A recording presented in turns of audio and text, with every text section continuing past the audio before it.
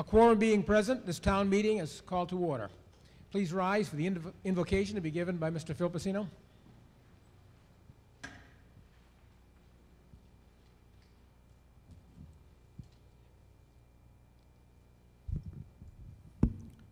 Thank you, Ms. Moderator. Let us pray and bless our work we are to start tonight.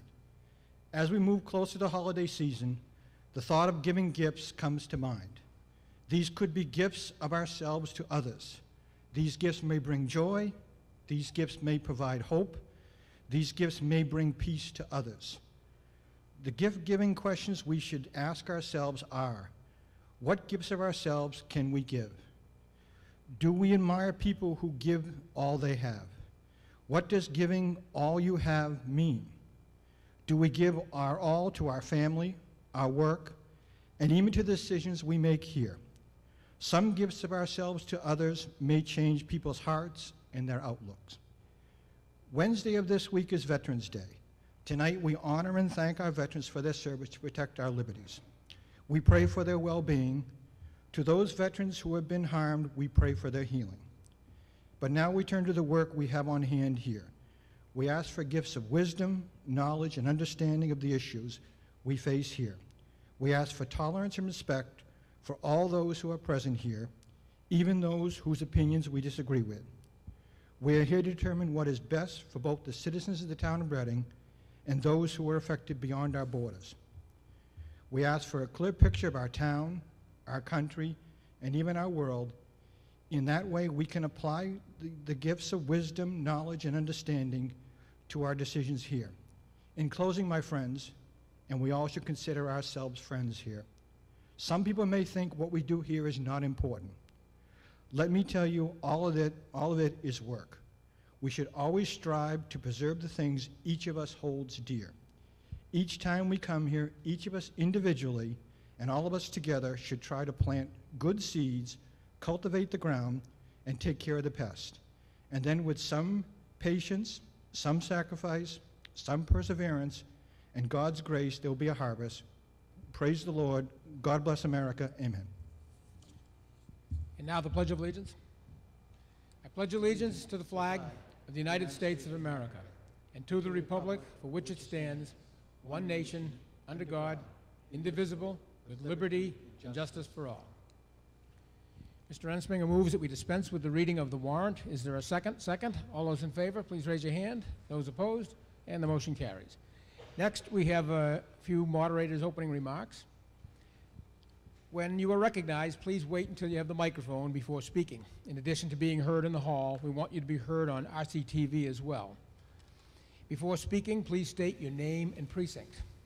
Members, members are limited to no more than 10 minutes. The chair will call on people roughly in the order that they raise their hands, taking those who have not yet spoken first.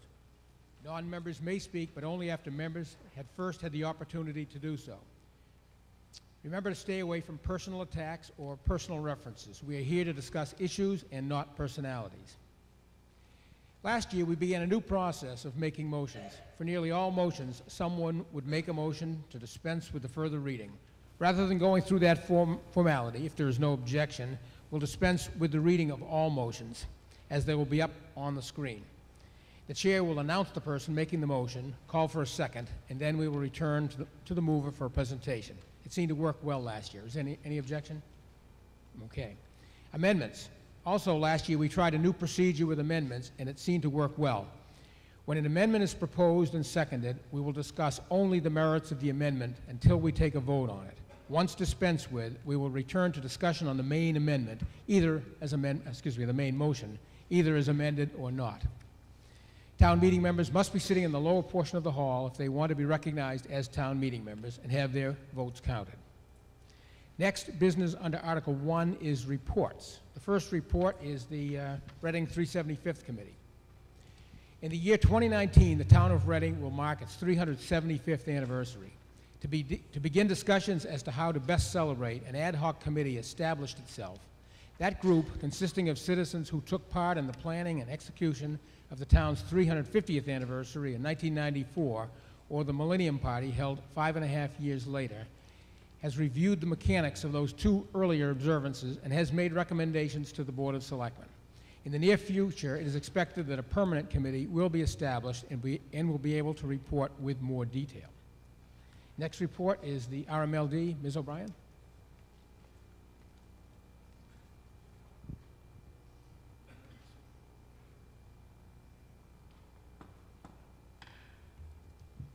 Good evening. Hope everybody enjoyed that beautiful weather we had last week.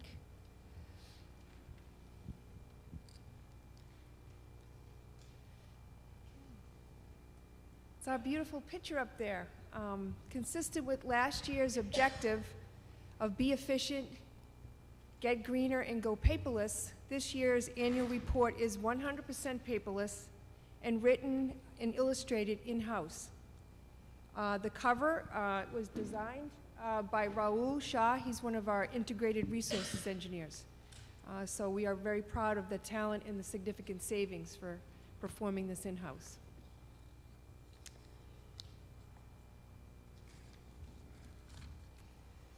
To our customers, the path to the peak can be a combination of addressing hardened trails, rocky terrain, and vertical climbs.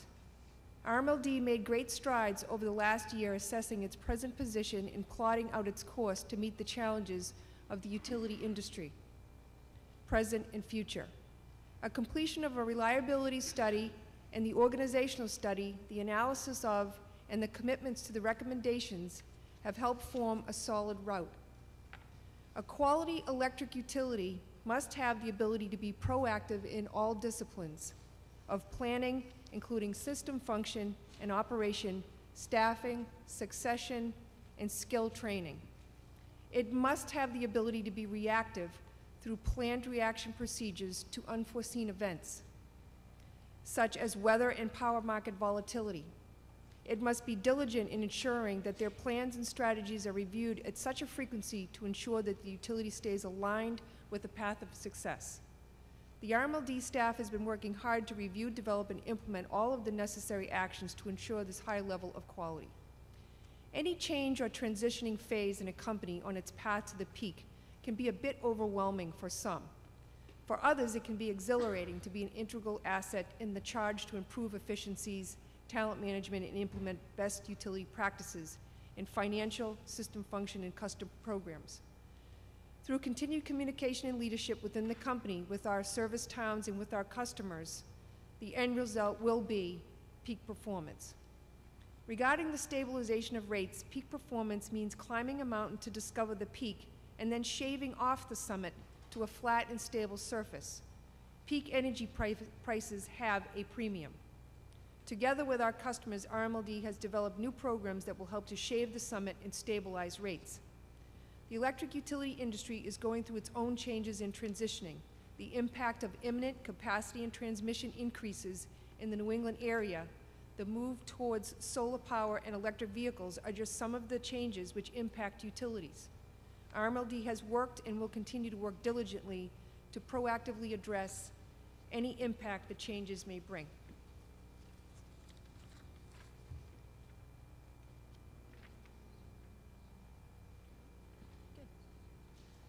S- Reiterate our mission statement.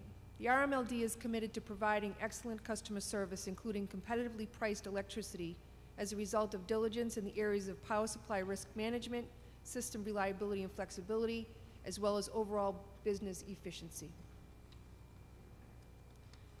I know some of these you can't read. I'm just going to go over some highlights verbally, and this uh, slideshow, is, as well as the annual report, can be found right on the front of our uh, www.rmld.com. Um, and you, I invite you to take a look at it, you can go through each of the, um, especially in the annual report, um, all of the accomplishments of staff are listed. The annual report provides a detailed list of the accomplishments. The notables include completing this comprehensive organizational reliability study, created a grid modernization technology roadmap, performed a cost of service study, unbundled our rates, ran a RCTV presentation on the unbundled rates, created a new low-income rate, and a new LED streetlight rate. We obtained an LED streetlight grant, um, which covered all four towns, implementation, external and internal communications upgrade, and several talent management initiatives, such as a career development program for each employee.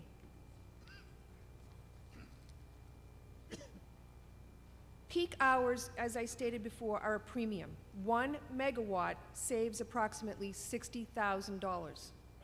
Out of an $80 million budget, 75% of that budget is a pass-through with power costs. Uh, The not-for-profit revenue can be made at 8% of net plant. So 75% is a pass-through. Capacity costs in the electric industry in the NEMA zone Boston area, which is inside of the Boston area, pretty much we're at the end of the pipeline. The capacity costs are going to go up five times and transmission approximately 6% annually, starting in 2016. Here is some of the new programs that we've designed at RMLD to help offset and mitigate that impact.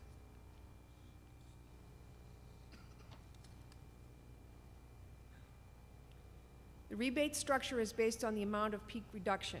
We have a number of commercial energy initiative and lighting rebate programs.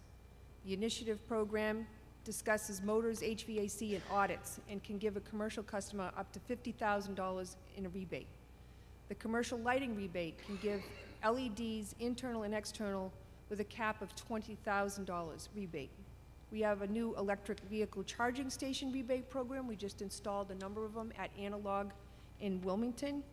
We have a peak demand reduction program with a, um, a client of ours called Tangent, in which uh, we work behind the fence uh, to reduce and turn on generators and to reduce the power and to reduce the peak. We have a number of appliance rebates, an online store uh, for LED bulbs and Christmas lights or holiday lights, um, and residential energy audits that you can find on our website. The rate options, we have controlled water heater technology upgrade. If anyone here has a electric water heater, I suggest you call us and we can come out and give you a chat, tell you how much you can save.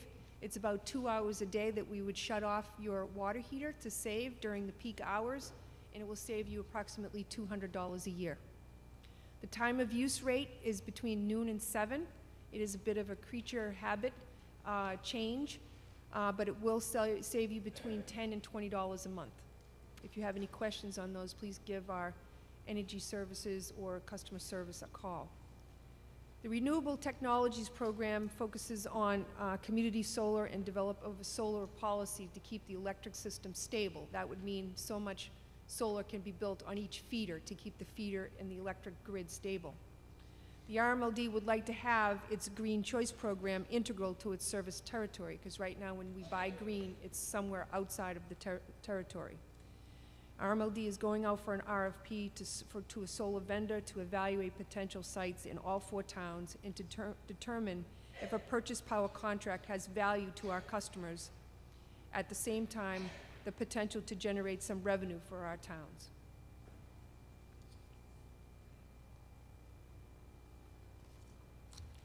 In the area of economic development, we want to attract new and retain existing customers. Your electric utility is a true benefit.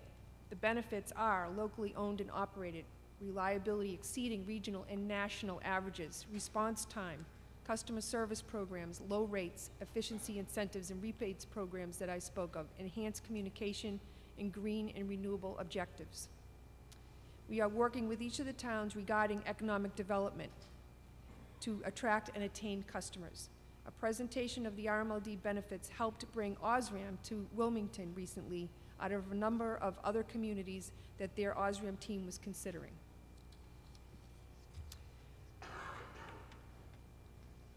The next one is our uh, smart grid uh, modernization, which uh, basically consists of the existing uh, AMI, advanced meter infrastructure meters, that we're combining with um, a mesh network for all of our commercial customers that are being installed at this time.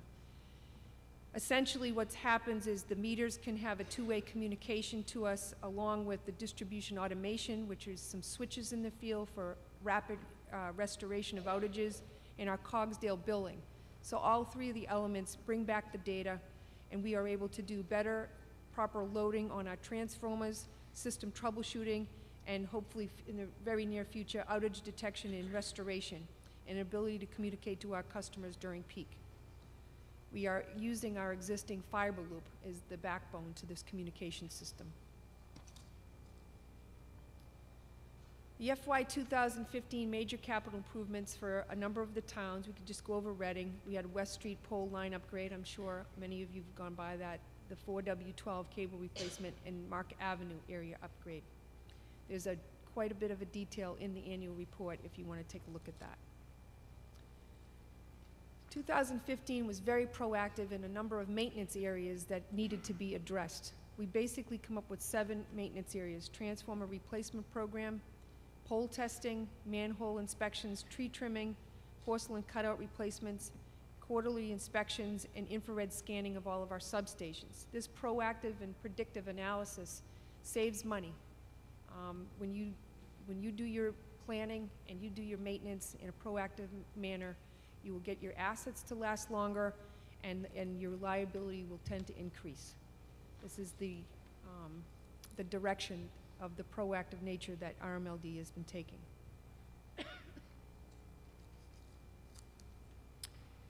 What came out of the organizational study uh, was to enhance the employees' skills to meet current safety, efficiency, and construction standards, as well as technological advancements.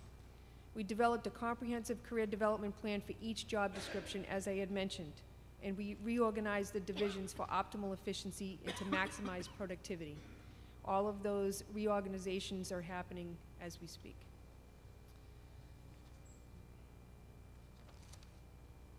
And take a brief look at the annual reliability indices. The electric industry uses what's called SAIDI, CAIDI, and SAIFI uh, in the regional and national um, arena. And in all three areas, um, we are well below national and regional average. For SAIDI, that's essentially the number of minutes an average customer sees that's out per year. For CAIDI, that's about the average outage duration. For SAIFI, that's the frequency of an outage, meaning that's less than one outage per year. When we take a look at the outage causes, it's similar to last year, although our new tree trimming program and our wildlife um, cages that we put on a lot of our equipment have helped to reduce those. But every single outage is tracked and trended to make sure that we can focus our maintenance uh, efforts on improving those areas of reliability. But wildlife equipment and trees still maintain the number one, which is fairly typical in this region of, uh, of New England. The LED streetlight grant that I mentioned earlier, the program, here's where we are. We finished the pilot last year in all four towns with a total of 300 lights. We got nothing but positive remarks back. Um, we tilted a couple of the lights and tweaked them here and there, but essentially everyone was very happy with them. So we continued on with the full implementation. Out of 8,000 lights, we'll be performing 200 2,450 lights per year per town times three years. So right now, we are in Lynnfield, 141 out of 290, and you can go down the list and see it's for the total of 2450 for the year. So that is our target. So 2017, 18, we should have that finished. Um, the other half of that grant, of the 250,000, um, 125,000 went to the streetlights for the towns. The other 125,000 has to be non-municipal. So our online, uh, our online store, which I was saying you can buy bulbs at 50% off for residential, and the holiday lights, 50% off. And as I mentioned before, the commercial rebate plans, that's where that money is coming from, for the 25 and 50,000 caps on a lot of those rebate programs. So if you have any questions, we have a number of engineers that um, can get into some pretty good detail with you and customize your rebate program for you uh, to make your uh, work or home a little bit more efficient. Thank you. Do you have any questions? Next is our, uh school report, Mr. Doherty. Uh, There's no, there's no uh, uh, discussion on reports. Oh. Report is just a report. Oh. I, I understand that, but there are no questions I'm on sorry, reports. I apologize. Yes. uh, well, if you have a quick question, I'll let it go. Ms. Herrick? Thank you, Mr. Moderator. Karen Herrick, Precinct 8. Um, You guys are great with reliability. Um, National Grid was on Haverhill's Franklin Street making a repair a week ago. It was horrifying for me to see. I don't want National Grid. I like your service. Why were they out here in Reading? Um, I believe it's a, it's an area that's, um, it's, it's kind of like half of ours, half of theirs, and there's a, like a common thing that we're working with them.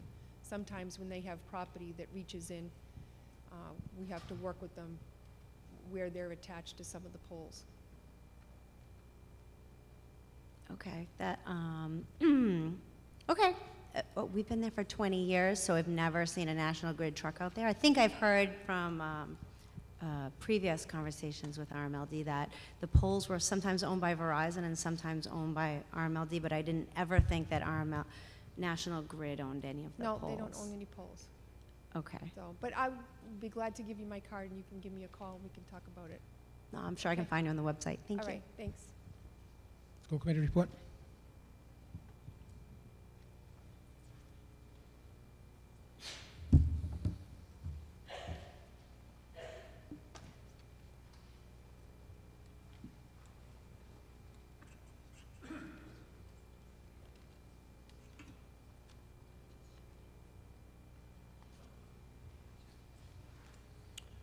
Mr. Moderator, request an additional 10 minutes. Is there any objection? None appearing? Mr. Mr. Nardi?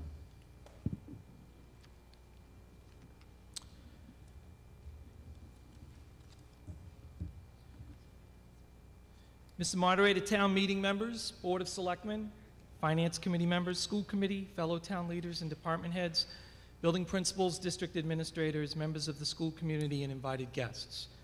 It is with great honor and privilege that I present to you the 2015 State of the Schools Address. One of the traditions that I look forward to each year as superintendent is to recognize and introduce to you the Reading Memorial High School seniors who are receiving the Massachusetts Association of School Superintendents Award for Academic and Community Excellence. This year, I'll be recognizing two outstanding students, each who have a strong three-year cumulative academic average, participate in extracurricular and community service activities, and are currently in the top 5% of their graduating class. Each year, it is always difficult to only select two students, given how many deserving candidates we have shining here at Reading Memorial High School. It is with great pride that I present this award to the following individuals. Our first recipient attended Killam Elementary School and Parker Middle School and serves in leadership positions as the Vice President of the National Honor Society and captain of the indoor and outdoor track team. He aspires to continue to run track when he is in college. He is a youth leader at the Korean Church of the Nazarene, volunteering as a mentor to younger members. Over his four years, the student has taken eight advanced placement courses, the maximum number possible at Reading Memorial High School. He is currently taking honors and advanced placement classes in calculus, French, English, computer science, and statistics. This recipient has applied to several colleges and universities, including Tufts University, where he plans on majoring in biochemistry and pre-medicine. It is with great pleasure tonight that I recognize Paul Chong. Paul, please come forward to receive the 2015 Massachusetts Association of School Superintendents Award.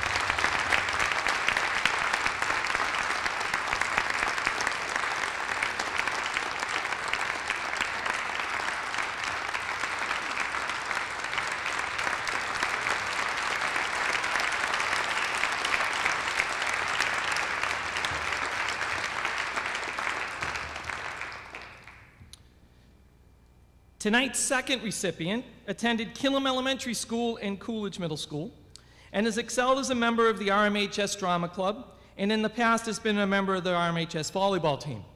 This student also volunteers at the Mission of Deeds every Monday.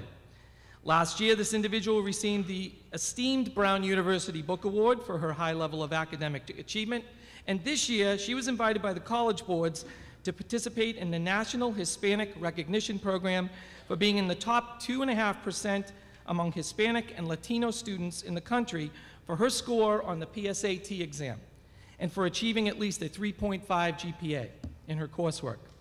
A member of the National Honor Society, this recipient is currently taking advanced placement and honors courses in English, engineering, calculus, French, and biology. Next year, she also plans on majoring in biochemistry and is applied to WPI and Marist. It is with great honor to introduce to you Isabel Acevedo. Isabel, please come forward and accept the Massachusetts 2015 Superintendent's Award for Academic Excellence.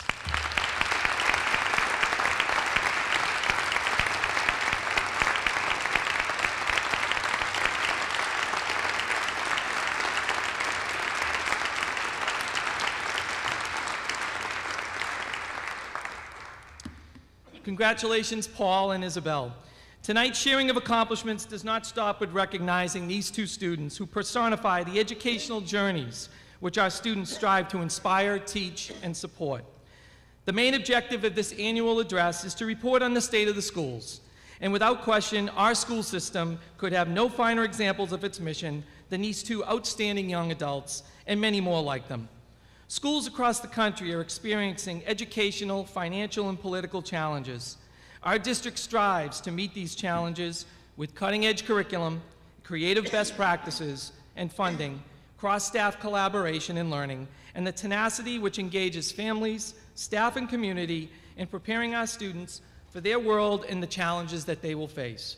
Tonight, I will highlight some of our accomplishments from this past year and share with you some areas that we are focusing on as we strive to become the best pre K to 12 school district in our region. To highlight our successes, we have distributed two documents this evening which capture last year. The first document focuses on the accomplishments of our entire school district, and the other, the Reading Memorial High School's profile, is specific to our high school and is distributed to colleges and universities across the country. These accomplishments would not be possible without a dedicated and caring staff, strong leadership from our administrators and directors, and the financial and volunteer support that we receive from our parents and our community. An example of this support is that during the 2014 15 school year, our parent groups, community organizations, and private citizens donated over $160,000 to our schools and programs in a variety of ways. It is this spirit of collaboration, commitment, and teamwork that helps contribute to the success of our school district. We have a lot to be proud of as a community, and we need to take the time to celebrate those successes. Whether it is our RISE integrated preschool, which does an amazing job with our three and four year olds, or our elementary schools, which are committed to building strong communities of learners in literacy and mathematics, or our middle schools, which have provided many powerful learning opportunities for students during a very challenging developmental stage in their lives, or our high school, which challenges our students to explore their passions so that they can be prepared for college or career opportunities. Our district is a solid example of how we are working together to instill a joy of learning and inspire the innovative leaders of tomorrow. This is evident with our latest graduating class of 2015, where 93% of the students are continuing on to post secondary education, including 88% going on to a four year college or university. Last year's senior class achieved national academic success on the advanced placement and SAT tests with 16 national merit commended scholars and one student, Peter Satterthwaite, who received recognition as a national merit finalist and was one of only 14 students in Massachusetts who qualified for the prestigious United States Presidential Scholars Program. In our current junior class, in addition, our current junior class received some of the highest overall high school MCAS scores in Reading since the test began in 1998, with 92% of our students receiving a score of advanced or proficient in math, and 98% of our students receiving a score of advanced or proficient in English language arts. In addition, 86% of our current sophomore class received advanced or proficient on the grade 9 science MCAS test. Another area that we are proud of as a school district is our students' access to technology and through a variety of funding sources, including the Reading Education Foundation, Reading Cooperative Bank, and our PTOs, we have strived to keep updated technology in the hands of our students.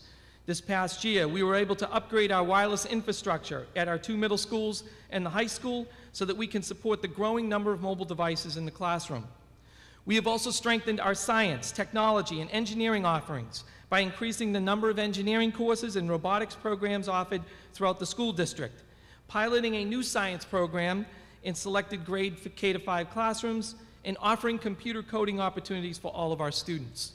Beginning this winter, students in our elementary schools will be able to take more after-school programs that focus on science and engineering.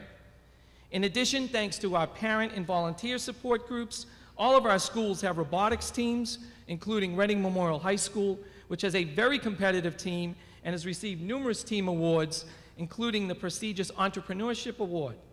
This past March, for the first time, Reading was the host of a two-day New England First robotics tournament that was awarded by, attended by dozens of teams and thousands of people from all over New England. The event was so successful that we will begin hosting a tournament in March. Our co-curricular and extracurricular programs continue to provide outstanding, enriching experiences with high particip- participation rates at all levels. Our elementary after-school programs have well over 450 participants, and Reading Memorial High School features 87 different clubs and athletic teams, where over 85% of the students participate in one or more extracurricular activities. This past year, five RMHS varsity athletic teams won Middlesex League championships, and our girls hockey team won the Division I state championship. It is the fourth year in a row that a Reading Memorial High School sports team has won a state championship. Our Fine and Performing Arts program continues to excel with an outstanding elementary choral program, award-winning middle school and high school choral and band programs, a gold medal-winning marching band and color guard, and a jazz band which won a gold medal at the state level. Several middle and high school students received Boston Globe Scholastic Art Awards, and one of our seniors last year, Lauren Walsh, earned recognition for her outstanding work in photography, including two impressive Gold Key Awards in the Boston Globe Scholastic Art and Writing Awards, and a National Gold Medal, which she received last June at Carnegie Hall in New York City. Each of our middle schools perform a musical annually, and last year, the Reading Memorial High School Drama Club filled this fine and performing arts center with six different types of shows, including two musicals, two plays, a student-written play festival, and two improv events.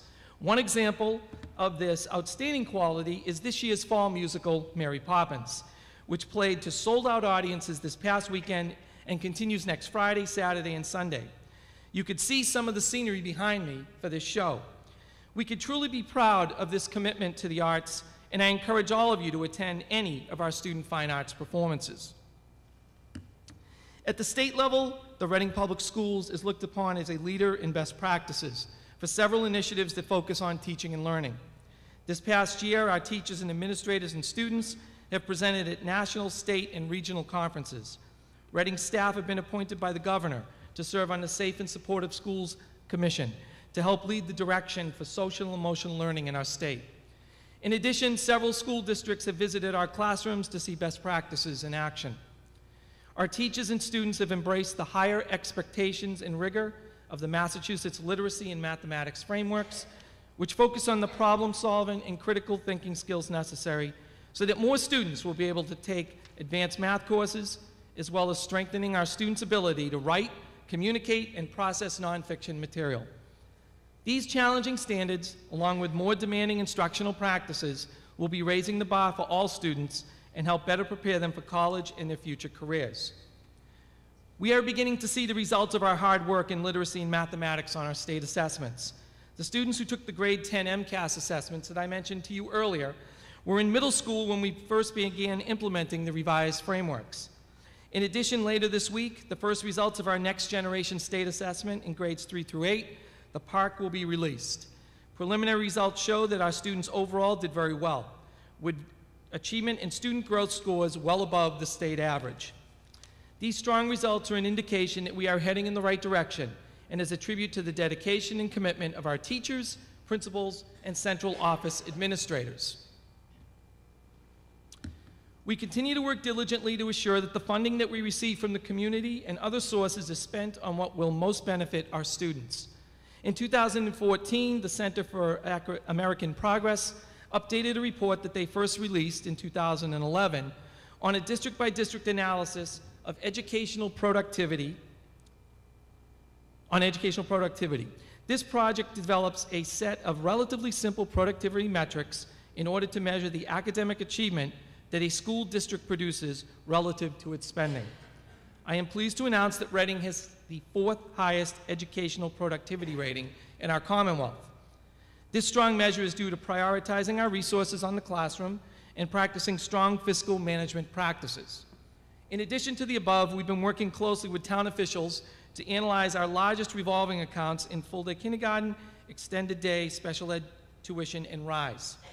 Through this analysis, which has been reviewed by both the Board of Selectmen and the Reading School Committee, a set of guidelines has been established as to what the minimum amount of funding should be charged to each revolving account annually to cover the expenses for that program.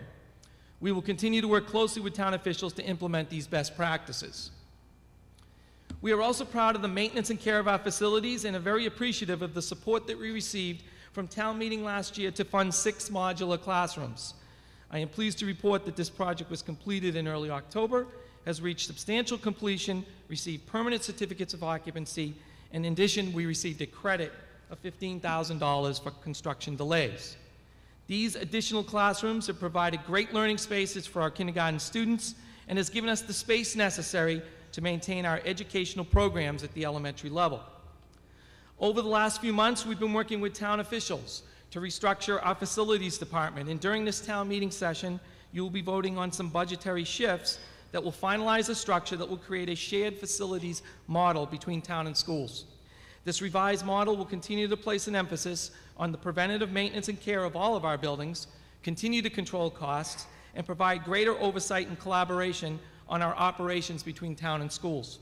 I would like to commend the collaboration between the Board of Selectmen and the school committee, as well as town manager Robert Lella and Director of Facilities Joe Huggins on this restructuring process. We have also seen similar collaboration between town and schools during this past year in technology and network management and human resource services. These examples of collaboration allow us to share best practices between departments, create efficiencies where possible, make available redundancies in an emergency, and provide the best services possible with the available funding. Everything that you've heard this far in my remarks would not be possible without strong and dedicated leadership. I want to take a moment and recognize the efforts of our building principals, building administrators, directors, and central office administrators, many who are here this evening. This hardworking group of individuals consistently goes beyond their job description in leading our schools and departments through some very challenging times. Without their direction, we would not be able to have made the necessary changes to continually improve our schools and learning for our students, past, present, and into the future. Thank you for what you do for the children of Reading. Over the last several months, I've had the opportunity to meet with over 300 staff, parents, and community members in community forums to assess where we are as a school district. We discussed the strengths of the Reading Public Schools, the areas to strengthen, the new programs or initiatives that we need to begin, as well as the current programs or initiatives that need to be changed or stopped. I collected hundreds of comments through these community forums, looked for themes and patterns, and supported the findings with additional data from a variety of credible sources, including state assessment data, the Walker Institute report, which is a review that we did on our special education services last year, staff exit data, the Youth Risk Behavior Survey, and student and staff survey data. For the remainder of my remarks, I would like to share with you some of the key points. Overall, the community and staff gave positive remarks about our school district. In the focus group sessions, the consistent strengths that emerged include the quality and dedication of our teaching staff and administrators, our students who come to school every day ready to learn, and the commitment that our parents make to our schools.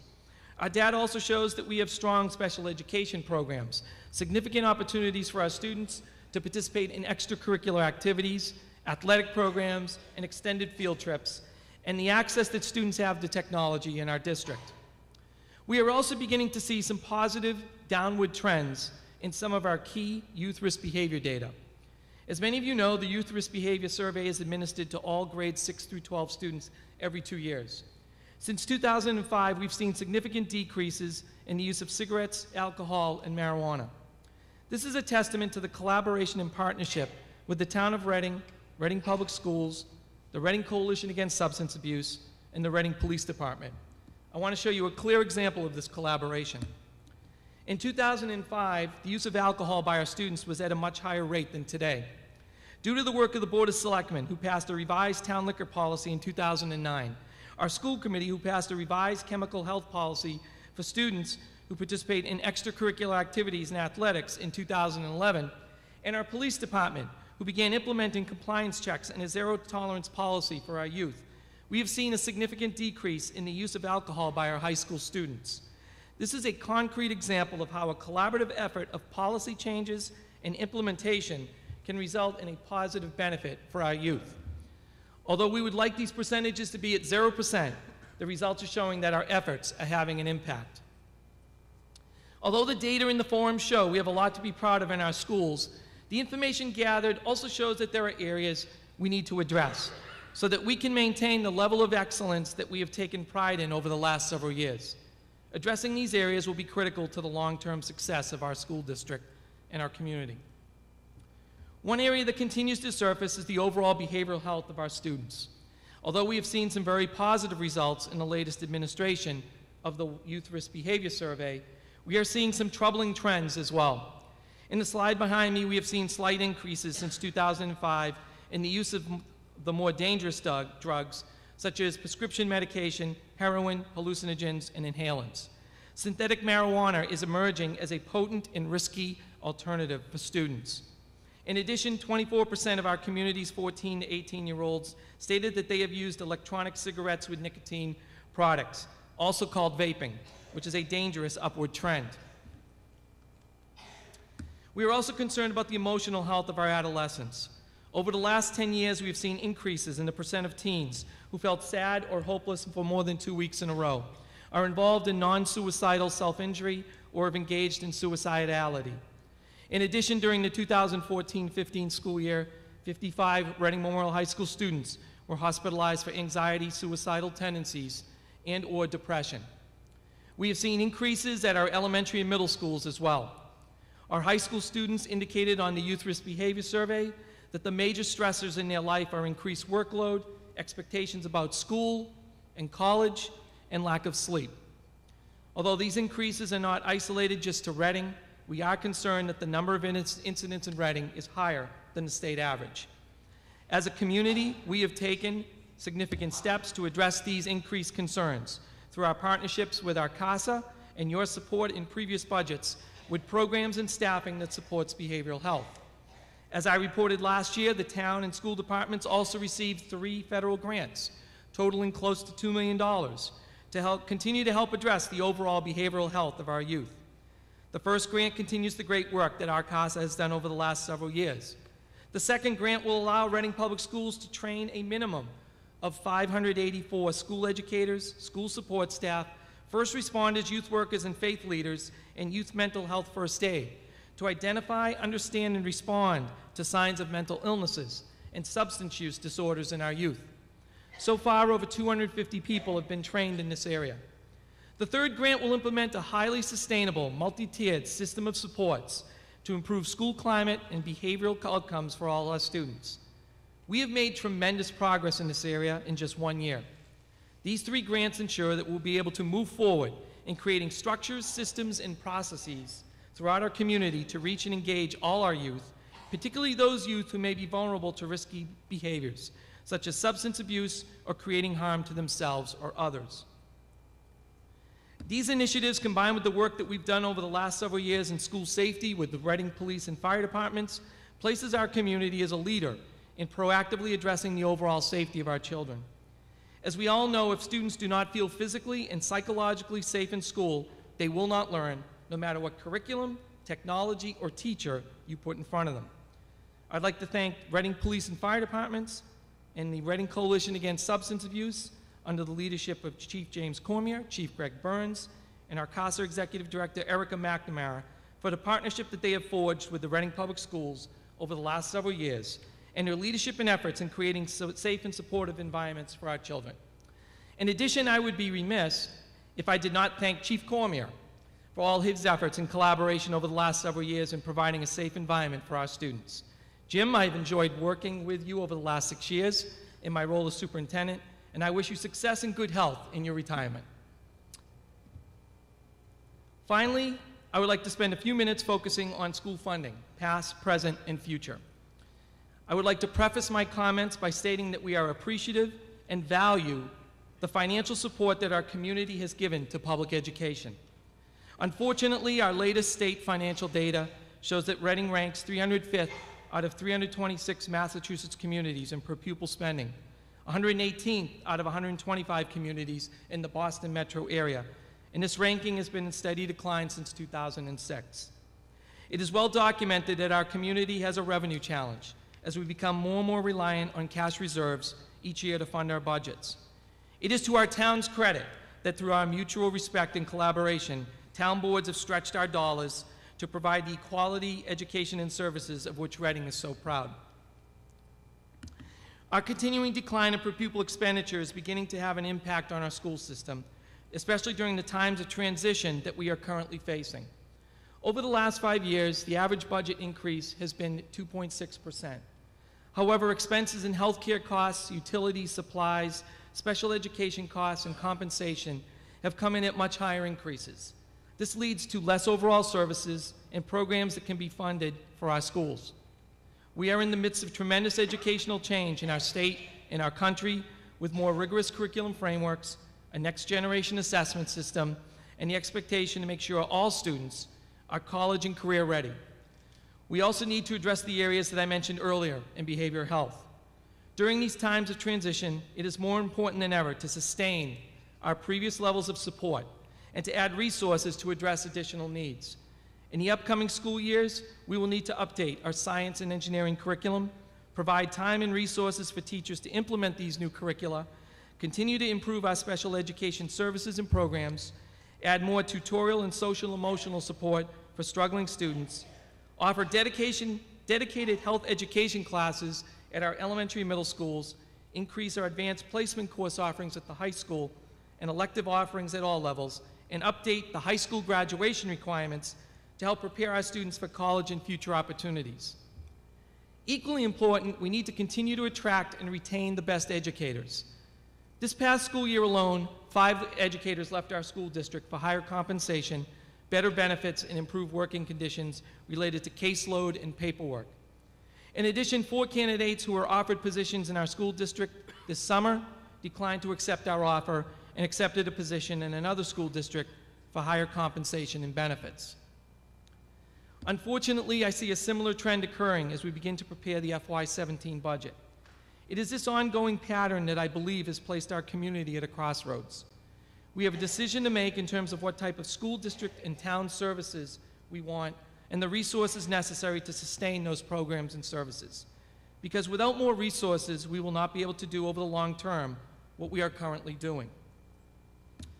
To conclude, I believe that this is an exciting but uncertain time in public education.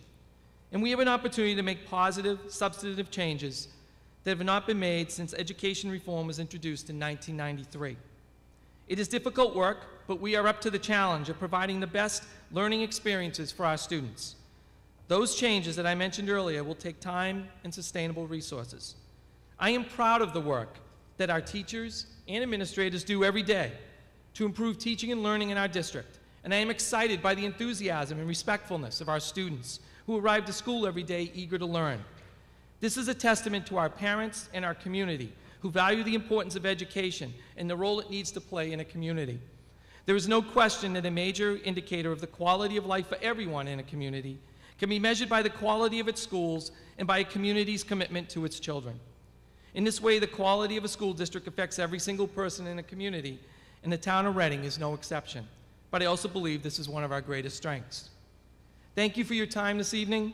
It is in my 32nd year as an educator, my 28th year now in the Reading Public Schools, and as a proud parent of children who attend the Reading Public Schools, one who graduated two years ago and one who's graduating this year, I must say that I am so very proud to be a part of this community.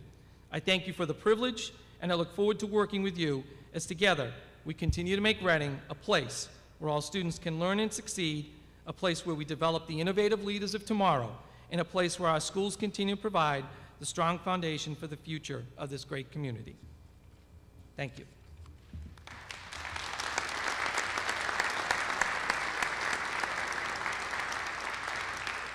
Mr. Mr. Ensminger moves that we lay Article 1 on the table. Is there a second? Thank you. All those in favor, please raise your hand. Those opposed, motion carries. Uh, Business under Article 2, Mr. Halsey moves that we lay Article 2 on the table. Is there a second? All those in favor, please raise your hand. Those opposed, motion carries. Business under Article 3, motion made by Mr. Sexton. Is there a second? Second? Mr. LeLacheur. Thank you, Mr. Moderator. For everyone in the room, there was a handout out back that looks something like this. It has a couple pages of an outline, but then the next five pages are motions. Um, The reason those are handed out is the first three articles, Articles 3, 4, and 5, have some changes from what's in the printed warrant report right here.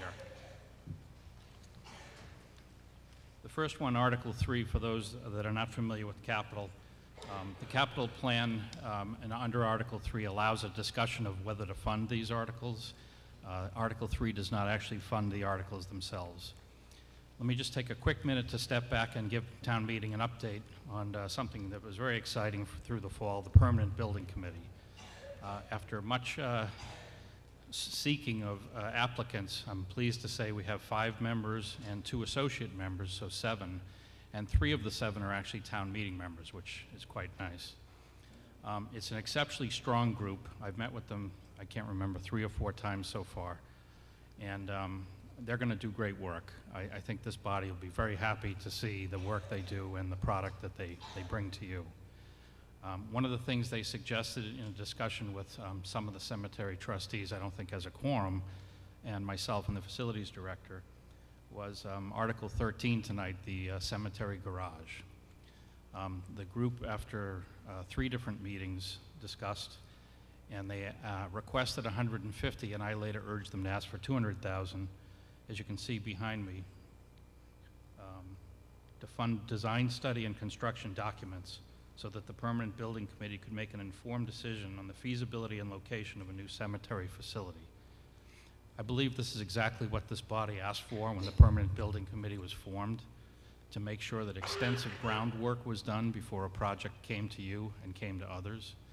And I don't think we'll need the 200,000. I think 150 is probably enough. Um, But you never know, you might want to do some uh, test borings uh, for ledge and things like that, so a little extra was added. Um, So to the printed material in Article 3, um, you have another $200,000 request from the Permanent Building Committee uh, to put some money in facilities for this purpose. Um, In conjunction with that, under Article 3, there is currently in the capital plan a $1.5 million cemetery garage to begin in a couple years. Um, The printed material in your warrant report would have suggested that move up to $2 million and start immediately. Uh, This amendment, if you will, will leave it as it is. So the $2 million increase and the move up to this year would be canceled. I certainly don't inca- intend to go over every article. You have some uh, pretty good explanations in the written material. Uh, But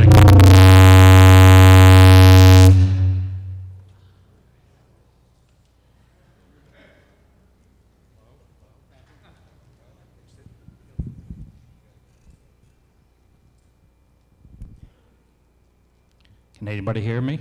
Ah. Remember last time I did this, there was a big light- lightning and thunderstorm. Um, For those that don't know, the charter generally uh, prescribes financial business under town meeting for the annual town meeting and policy decisions in November. But about 10 years ago, we made a slight change, and we do a lot of our capital work, most of our capital work at November town meeting. The reason for that is uh, the the departments with capital needs go over it during the summer, especially at the end of the summer, and um, that way they get the capital budget out of the way before they're looking at the operating budget. So although you see enormous amount of capital changes here, there won't be very many in April, and that's the reason, just for new town meeting members. Um, I'll I'll speak about the first item, school and town technology, under number five. You can see a number of changes are facilities related, and again, that's partly related to the new facilities director, which I'll also get into in number five. Um, I did want to point out one article, particularly in FY '17. You see we're uh, reducing the amount of capital requested by 500,000. However, one of those items is actually a $350,000 increase. Um, The um, work over at Killam Field, this body approved last year, Um, We went out to bid and we were not able to fund uh, the work that was desired in those fields. Prices were just higher than we expected, and we decided not to cut any corners. Um, That was a couple hundred thousand. We needed about 250 or 60,000, but in addition, now we've en- enlarged the scope of the project to fully pave the parking lot at Killam. So this is a much bigger project than you would have seen a year ago. But notwithstanding this $350,000 request, there is still a net reduction of 500,000. Um, So the FY17 capital budget is just about balanced for the budget process next year.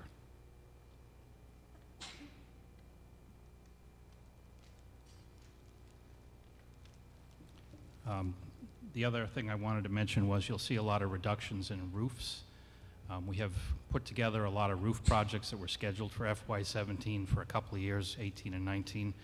Uh, We're going to gather them together as debt that we'll ask for um, in a future budget year. FinCom report, Mr. Leidecker.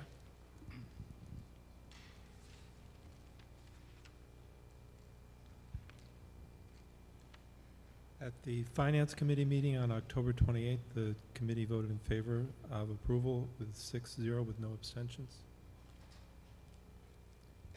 Further discussion? Mr. LeLacheur? Um, It's in the material, but I just want to mention it out loud. There's also a request for a million two for sewer station work. Um, And again, just to bring that one back to town meeting, that's another uh, capital project we were not able to do with the funds approve, approved last year. Um, Town meeting appropriated an amount that was two or three hundred thousand dollars less than we expected. Um, And that caused us to reprice the whole capital plan for sewer. We hadn't done a sewer station rehab project in 50 years. We didn't do a very good job estimating the cost. Further discussion? And appearing, we are ready for the vote? All those in favor, please raise your hand. Those opposed? And the motion carries. Business under Article 4, uh, motion made by Mr. Berman. Uh, Is there a second? Second? Uh, Ms. Angstrom? Thank you, Mr. Moderator. Article 4 is to approve prior year bills. Um, As you can see on the slide, oh, yep, Um, we have a total of $47,520.21 of prior year bills that we're looking to fund through free cash. The first item there is for um, the Reading High School litigation for June. We had requested um, a projection from the attorney um, to get us through the end of the fiscal year so that we could request the money in April, and we did that. However, the projection was low, um, and so this bill came in and we just didn't have enough legal funds left in the budget to pay it, so that's why you see it here. The second item is um, fire truck repairs that um, we believed were going to be covered under warranty and turned out not to be. The third item is related to school facilities, and it's actually dated back to August 2013. For one reason or another, it never got paid. I think that we did receive at least one bill, um, from what I'm understanding from the school, um, but they never sent a second, and they're just coming around now looking for it, so I'm not sure what, um, what got missed. The fourth item um, is legal ads that were um, done in June, um, and the bills weren't processed for payment until October, and the year was already closed. The final item there for $50, that was not in your warrant book. That came up within the last couple of weeks. Um, It's an employee expense report. Um, The employee was going for a Class A license, and he paid $50 for his permit in fiscal 15, and then he got his license in fiscal 16, and he put them both on one expense report in October, and legally I can't pay the fiscal 15 and fiscal 16. So it seems minuscule, but it has to be here. FinCom report. Ms. Johnson Landry?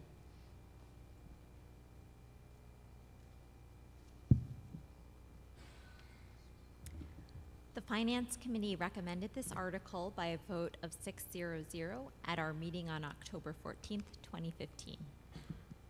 Is there further discussion? Yes.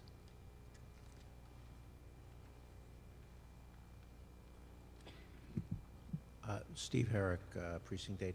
Sharon, um, the litigation issue, is this, are we- is there an end in sight here? Because this is one of those things that's like drip, drip, drip. I mean, the high school's been done for years.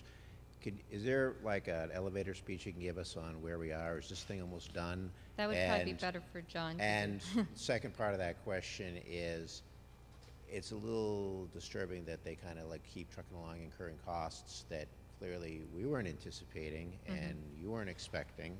And is there a way to sort of stem the tide going forward, or is this something we're gonna be talking about next year again? Just It's curious. hard to say. I mean, we've seen the bills kind of start to dwindle down a little bit, but um, I don't know when the end is because I'm not involved in those discussions, so John will speak to that. But we are seeing it dwindle down, and I'm hoping it's nearing an end, but John will be able to speak further. Mr. Doherty? Not much further, unfortunately. Um, i- It's difficult to predict, you know, how much further this case is going to go. We, we believe we're at the ending stages of the case, but it all depends on th- appeals and things like that. But our, our understanding is we are in the, the final stages of this phase of the litigation. And so the final piece of it is, regardless of how this, if this works out against us, is there another kicker out there waiting?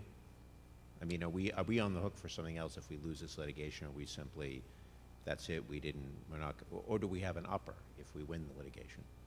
It's unclear at this time, and we, we, I mean, unfortunately, I can't go. No, I into don't, I know we don't know whether we're gonna win or not, that's the nature of the beast, but is there a potential benefit or downside depending on the nature of the litigation at this time? It's, or is that? Is there a, I'm- Are, I'm- are we, are we, if we lose this litigation, do we stand to lose anything else? If we win it, do we stand to get um, compensated for something at this point? Um, It's, it's an ongoing litigation with the construction company, and that's really all I can talk about right now. Okay. Further discussion? None appearing. Are we ready for the vote? This requires a nine-tenths vote. We will try a uh, hand count first. If not, if if that doesn't work, we'll go right to a uh, standing count. All those in favor of the motion, please raise your hand. Those opposed?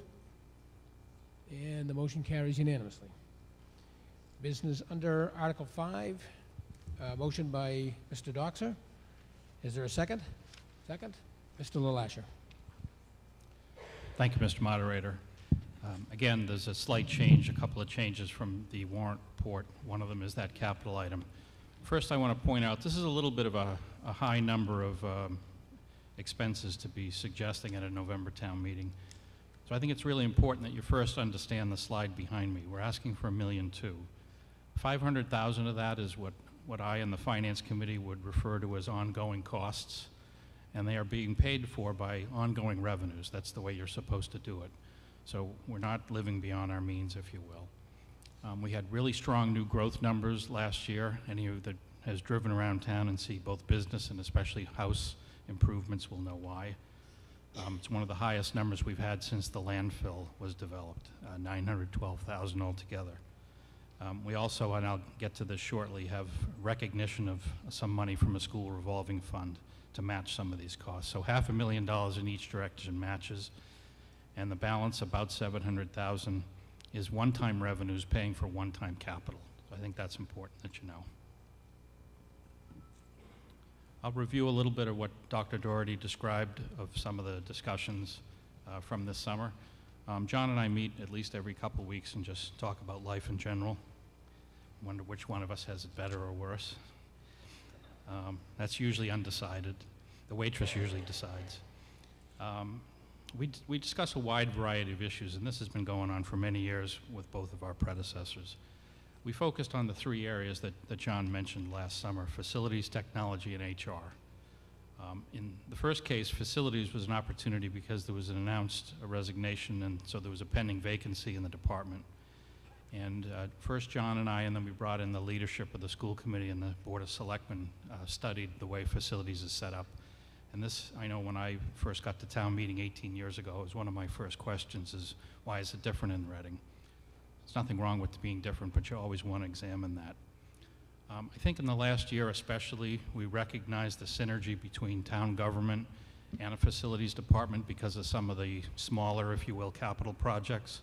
So the modular classrooms, the retaining wall, and the Eaton roof repairs were a lot to be going on at one time. And um, facilities folks were constantly in our building uh, department, um, working with our police chief, fire chief, uh, town planner, and so forth. So we just have a lot in common. We work together quite a bit. There were some concerns, though, raised about changing the structure to become if you will, split between the two and more on the town side. First and foremost, um, from the school committee and others, whether the school buildings would continue to receive the needed attention.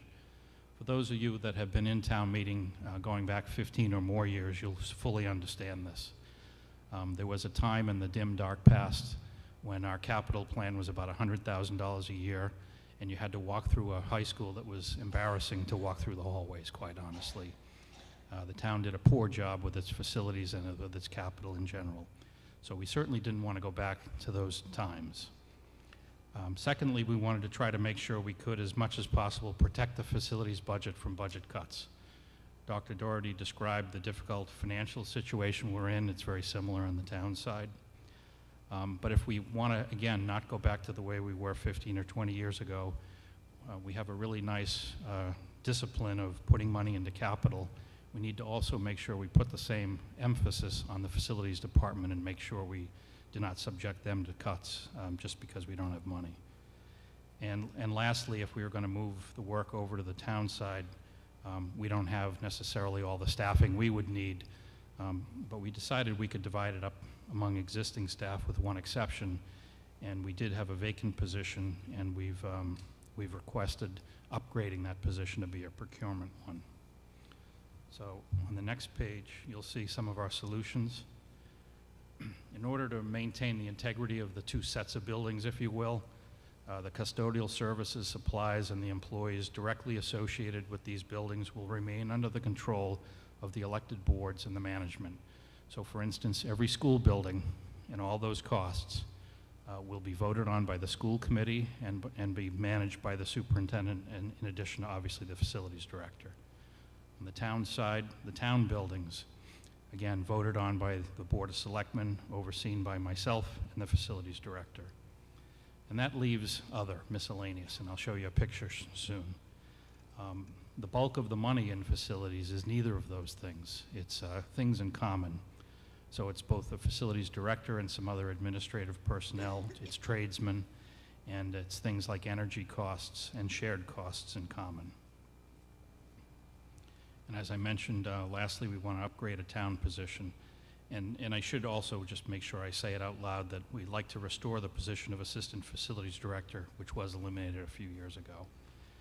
Um, Although, although you are going to see increased costs by this change that's suggested, I will tell you right now from the experience in the last year, the Assistant Facilities Director would more than pay for himself by not needing to hire project managers for all those capital projects. The current facilities director is serving as an in-house project manager for the library project, for instance, and knock on wood, that's going very well. Um, This busy slide is meant to sort of show you from a budget standpoint the things I'll ask you to vote on. The facilities department will be managed by the facilities director and jointly supervised by both the superintendent and town manager. The superintendent will lead on performance evaluations for the facilities director. Uh, We're very fortunate to have uh, Director Joe Huggins, who's very talented and hardworking, in addition to all the facilities staff. Uh, The buildings are not in the good shape that they are just because you appropriate money. It's also because we have some really hardworking and good staff. The first uh, circle at the very top is that one I described to as only school buildings, that's $1.2 million. And the bottom one is only town buildings, that's $300,000. And again, those are costs and personnel directly related to only those buildings. Does that mean that one person never works on a town building? Well, in an emergency, anything would go. But those costs are very closely associated with the buildings. And the bulk of the money, as I mentioned, is in this thing called core facilities, almost $3 million, not quite, with the addition back of the assistant director. Um, To be clear, for town meeting, uh, the first item, the school buildings will be part of the school budget. So that's the way it's uh, been traditionally voted. It's been a larger amount, but that'll be wrapped into line U99, all as bottom line authority to the school committee. On the other two, there will be single line items under the town side. If you will, much like some of the DPW lines that have snow and ice and so, so forth, the things that can only be spent on that by town meeting authorization. So line M91 core facilities of $2.7 million, that's all it can be spent on. If there's extra, it goes back to free cash. If there's more needed, we'll ask this body. Same with town buildings, that's a very small line item, line M92, $300,000. So that's the proposed restructuring of facilities, and, and certainly from both John and I perspective, it's worked very well since it was implemented this uh, summer. Dr. Doherty also mentioned technology. We also had another opportunity because of a vacant school position to discuss this, and this discussion has probably been going on for six or seven years as to whether we should combine technology under one roof. Technology has two main parts in the schools, I will say.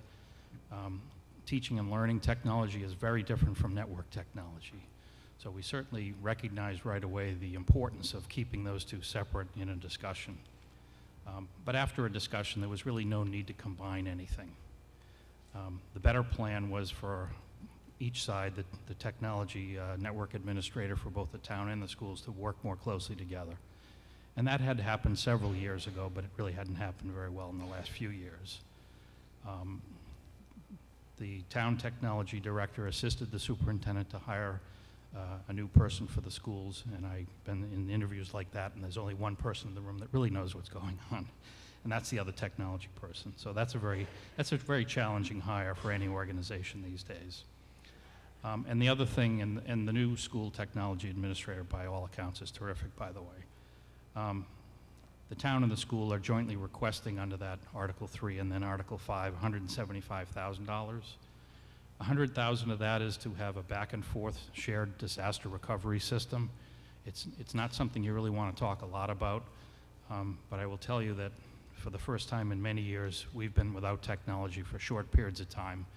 And there's a lot of people that sit around and don't do very much when you have techno- no technology these days. And we can't help our customers that come in when they try to pay a bill if we don't have technology, or we can't help them very easily.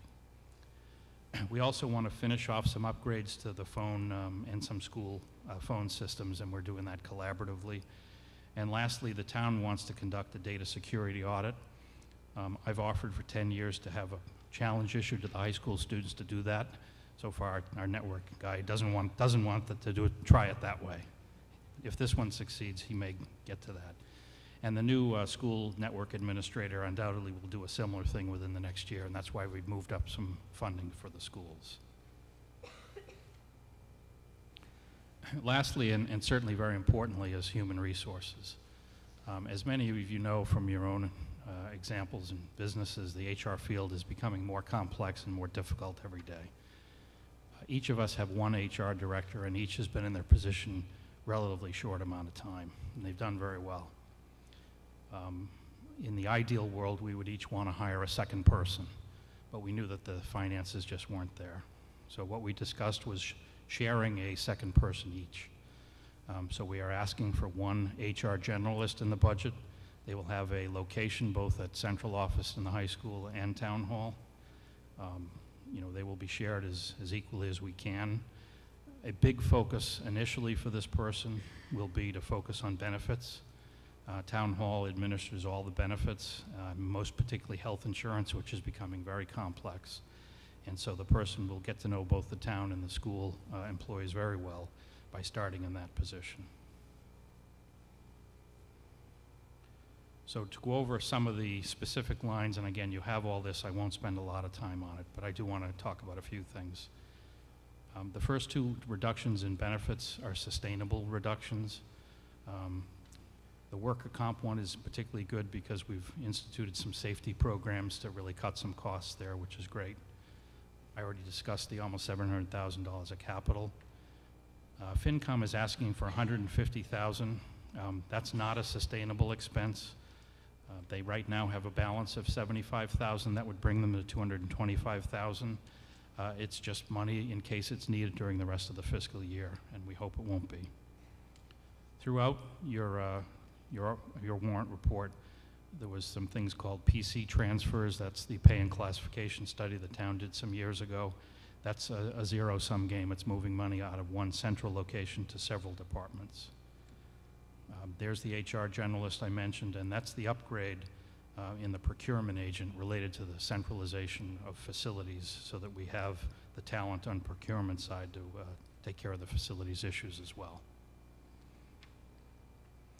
I'm asking for an additional 75,000 in legal expenses, and again, that's mostly uh, to cover our RMHS litigation if it happens.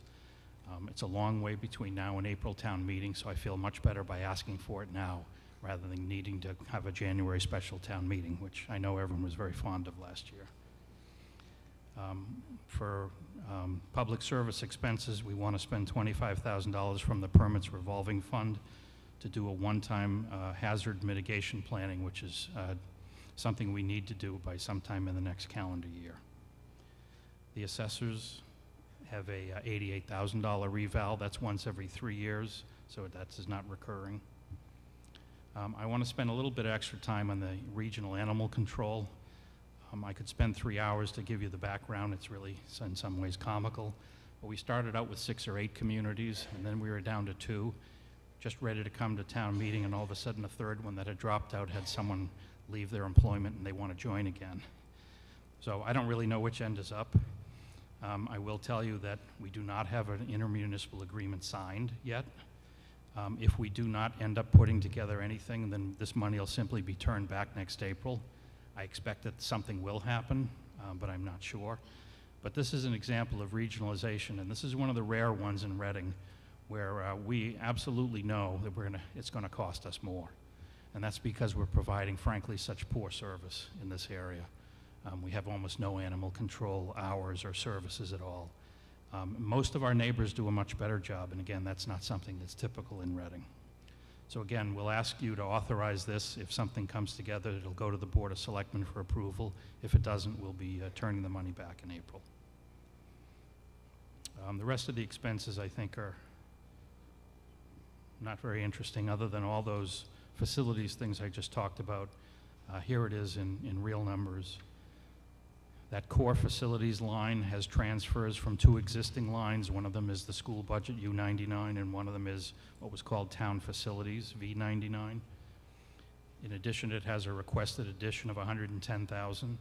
Uh, That's the assistant facilities director, some salary for the facilities director, and some overtime for three tradespeople. The Revolving fund is, is something that in the school budget, they use $100,000 as an offset to costs. Since it's their money, we can't use it as an offset to our costs. So it's technically going to have to run through free cash. Uh, And then we'll uh, help support the same costs that it does now. Excuse me, on the town facilities side, again, some of that is transfers, majority is transfers from the current town facilities budget. But we also are requesting a fourth custodian. Um, As it is now, the three custodians uh, work a significant amount of overtime. Uh, We have a new library, which we expect is going to need a lot more attention than the old library. Uh, And the three custodians have been here about 430 years combined, and they're going to be retiring soon, they say. So we better get a fourth one in soon. Um, Lastly, out of the school department and town facilities budgets, you see the transfers out. Uh, The second change in addition to that capital item, again, is the source of funds. The new growth came in higher than we had pro- projected, so the actual use of cash reserves is lower than was, it- was in your budget report. And lastly, as I mentioned, that sewer rehab, um, sewer reserves are at an all-time high of $4 million, which is really way too high. Uh, This will bring it back to 2.8 million, which is a much more sensible number. And again, of this requested million two, almost 800,000 of that was turned back because we could not complete the project before. FinCom report, Mr. McNeese.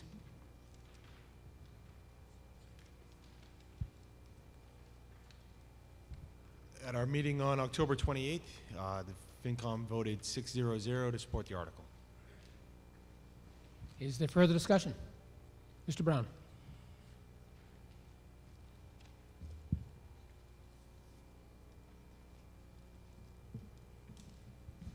Thank you, Mr. Moderator. Bill Brown, Precinct 8, and a member of the Cemetery Board of Trustees. And I would encourage the town meeting to approve the $200,000. Um, I've had the pleasure of sitting with the Permanent Building Committee twice, uh, and I think they're a good group.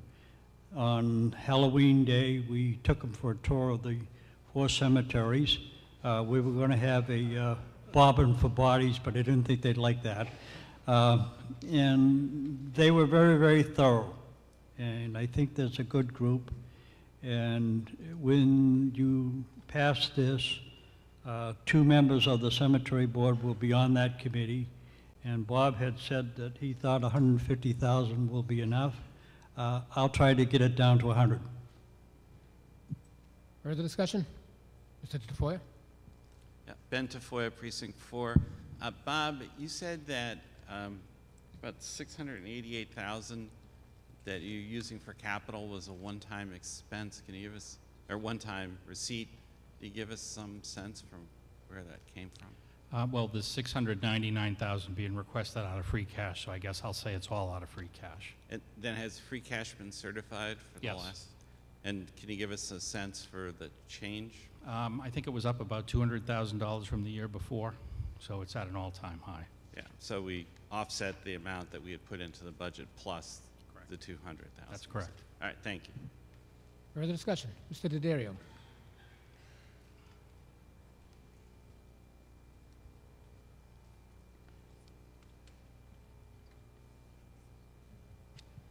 Uh, Thank you, Mr. Moderator. Ron Dario, Precinct 6. Bob, I had just one question. In the reading, on, the- it says uh, under U-99 on page 8 in our yellow-paged warrant, it says the Board of Selectmen will vote on lines M91 and M92, while the school committee will vote on lines M91 and U-99. And I was just wondering, is it a problem when the selectmen and the school committee are, are voting on the same line? And, you know, what happens if they're not in agreement? Mr. LeLacheur? There's more school committee members. Um, You know, if you will, it's somewhat of a formality, meaning, do- meaning no disrespect. This body ultimately decides what will be passed. So it's certainly information that you deserve to know what the school committee and the selectmen think on a shared line item. But I don't see why that would cause any problem. Um, I would be quite shocked if it was a six to five vote for the school committee against the selectmen, because that means we haven't had a particularly good discussion leading up to it. I thought I saw a hand, yes, in the va- back row.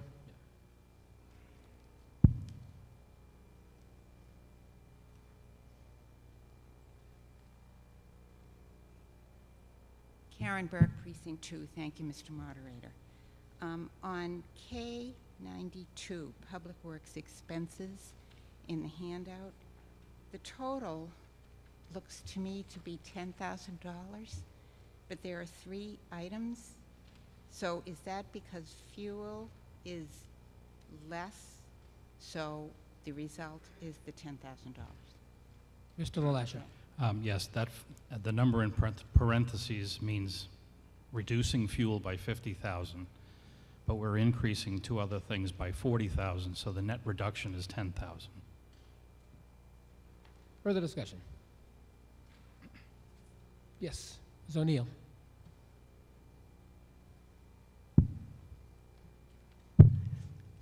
Mary Ellen O'Neill, Precinct 4. Uh, a Just um, some information, please, on the animal control uh, addition. I agree with you that we've had very poor services for years. I think we only have about 13 hours a week or something really small. What could we get with this, and what is the likelihood that this will happen? And also, would there be um, some improvement? I've had some concerns in the past about what, how we handle stray animals. Will there be some change in that also? Mr. LeLacheur?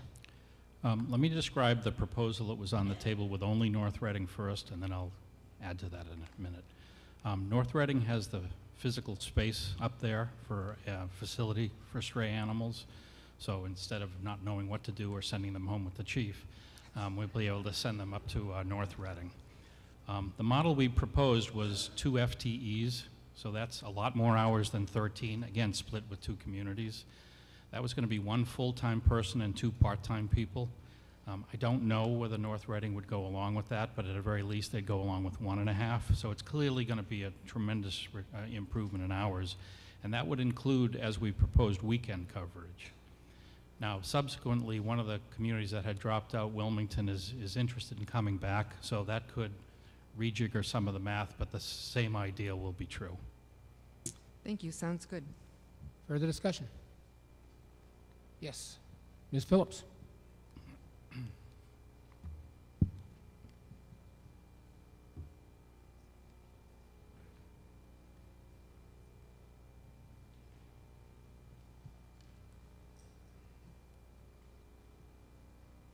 Thank you, Mr. Moderator. Linda Phillips, Precinct 7.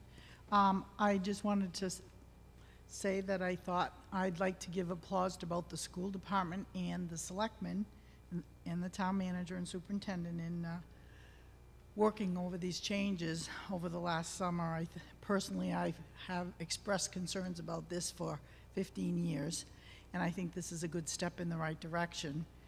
Um, I think when we own a piece of whatever it is we have responsibility for in town, I think things um, have better oversight, and I think less things are able to fall between the cracks. So I applaud that. I do have uh, an also an ongoing concern that over the years, we seem to see, um, I've been in town meeting for 15 years, and we seem to see a lot of the same expenses come up, particularly in the school buildings. New furnaces, new boilers, new roof repairs, new, new this, new that. Is, I can't seem to get my hands on some kind of list that we have a list of what we're maintaining, when we expect something to be done. Is that already in the, in the works and I'm just not aware of it? Or is somebody taking care of that? Mr. LeLacheur? Um, Thank you, Mr. Moderator. Um, Yeah, such a list exists internally, and if you'll recall, the Permanent Building Committee was asked to work with the facilities director on this very thing. So it's not just new buildings, it's what's the condition of the old building. And it's not just, does it need a new roof, it's what about all the other stuff? Right, exactly. So you see in the capital plan, there's details down to the school building level, Mhm. um, but there's a lot more available than that, that um, that Joe will have and go over with the Permanent Building Committee. Because in the past, town meeting had appropriated sometimes over a million dollars to do a repair. And then a few years later, it comes back up again and we find out that the money wasn't used for the repair, it was used for some other emergency. Which leads into my comment that I still am concerned that the school department would have only bottom line accountability in maintaining the school buildings when the school buildings are not owned by the school department but by the town because there has been in the past maintenance money from the school, uh, ap- appropriated for town buildings that have been used for other things in the school budget. Is there a way that we can guarantee that that will not continue to happen? Mr. LeLacheur? Um, I'm not really familiar with the history, but if you look under that top, there's about a million two for the schools that are in the school budget. Uh, For them to not spend that on facilities would require them to remove custodians, because most of the funds are custodians. There's a nominal amount of building supplies and cleaning supplies and some outsour- outsourced cleaning. Um, So I think it would be very difficult, even if they wanted to, to not spend the money on, on how it's laid out. Well, maybe I'm not making myself clear, like perhaps things on cap, that might be considered capital items. In other words, if the town um, appropriates money from town meeting to do a certain repair, if that's repair comes in under budget, you come back to town meeting to ask town meeting to put it back in free cash. The school department doesn't do that. So you don't know if it's going back in the maintenance budget or if they decided to hire another ass- assistant. And I'm, and I'd like to see all the money appropriated for those kinds of things, either used just for that purpose or put back where it belongs. Mr. LeLacheur? Um, Thank you, Mr. Moderator. I- I guess what you're talking about is that middle line, the 2.7 million line M91. Um, That is shared costs for all buildings, as you say. Uh, They're all town buildings, if you will. So both uh, municipal buildings and school buildings, capital, for instance, will all be voted on as a single line item by town meeting. So Okay. money cannot leave that line item and go somewhere else unless town meeting agrees. Okay, thank you. Further discussion? Yes. Who's first? Thank you, Mr. Moderator. Charles Stanley Moran, Precinct 7. Uh, Bob, the 50,000 reduction in contributions to the pensions, I don't believe we're fully funded. Why are we reducing our contributions to it? Mr. LeLacheur? Um, Thank you, Mr. Moderator. Uh, Last April at town meeting, we did a similar reduction of something like 48,000 or so. Um, For some reason, a couple years ago, a higher pension assessment got in the budget than is actually asked for by the pension uh, board. So all this is doing is catching up to an an error that happened two years ago, probably by me. So this is the full funding that is being requested. Um, The, um, the retirement board is increasing our assessment by four and a half percent each year, which is a little harder than Prop two and a half, but not an unreasonable amount in order to fund it. And is the funding 2019? No, it can't be 19. Tw- 29, yeah, 2029. 19 would be nice. So when are we, we going to be fully funded? Uh, 2029. And again, this reduction, we would not have paid this money. This would have been surplus at the end of the year. Um, You know, actuarially, they have asked for a certain amount, and that's the amount we're required to give them. And that's the amount we have been giving them. It's just that the budget and the request in front of you for two years has been wrong, a little bit too high. Okay. And how often is a new actuarial study done? And are they going to be increasing it the next time dramatically, or? Well, that, that really is up to them. They're independent, but they re- re- relook at these numbers every two years. Uh, and they have said as a, as a policy that uh, they will stretch the end date or move it in and leave the four and a half percent in place. But they could obviously change their mind if they so chose. Okay, thank you. Further discussion? You? Yeah. Okay. Um, Hi, it's Demetra Tsakris, I'm Precinct 4. So in the amount of money that that slide you just showed before, the three circles, the one in the middle that has the shared buildings that the town, schools and town buildings, is any money for building maintenance going to the outside of the building, the living things that cost a great deal of money to put into the ground to make the building look good? And then, is there, what kind of money is built into this to take care of plantings, trees, et cetera? Because a lot of things seem to be suffering. Mr. Lasher? Um, the short answer is almost nothing. um, building principals sometimes take it on their own to do things like that. Our DPW uh, sometimes takes it on its own to help. But in terms of routine funding of outside, very little. Further discussion? Yes or no? Yes. Mr. Sasso? Thank you, Mr. Moderator. John Sasso, Precinct 2. Um, Actually, just a quick question while you're on this. So you mentioned about the uh, hiring back of the Assistant uh, Facilities Director. And obviously, I know how we've had a number of projects over the last number of years where, as you mentioned, we've probably outsourced project management as part of the construction company or the contractor.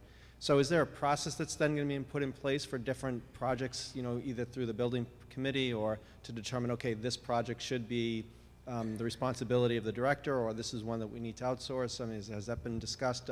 Because I certainly can see how that position could certainly pay for itself from that perspective. Mr. Lasher? Um, The Permanent Building Committee is, if you will, official at two $2 million projects and up. Uh, But we've already approached another group that has a substantially smaller project to use the public, uh, Permanent Building Committee as a resource. Uh, So I think it's fair to say that virtually any project um, that's of any size to require project management would, would be seen by the Permanent Building Committee.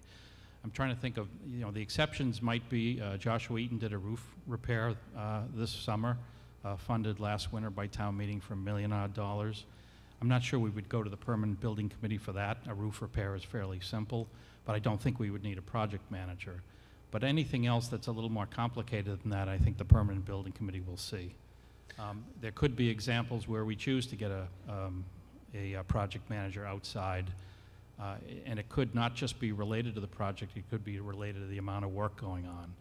Um, For instance, until uh, probably about a year from now, maybe nine months from now, uh, until the library project is fully done, uh, they're pretty busy over there. So if something else came along during the spring, you know, we may or may not have the bandwidth, but on a routine basis, I think we'll use outsourcing far less. Again, uh, just as a quick follow-up, so you've, again, I, the impression I get is you've done that assessment and analysis based on projects you've had and where you could have saved money and, and where this role will then fill, fill in that gap? That's right. Okay, all right, thank you. I saw a hand down in front of, yes, right in the edge.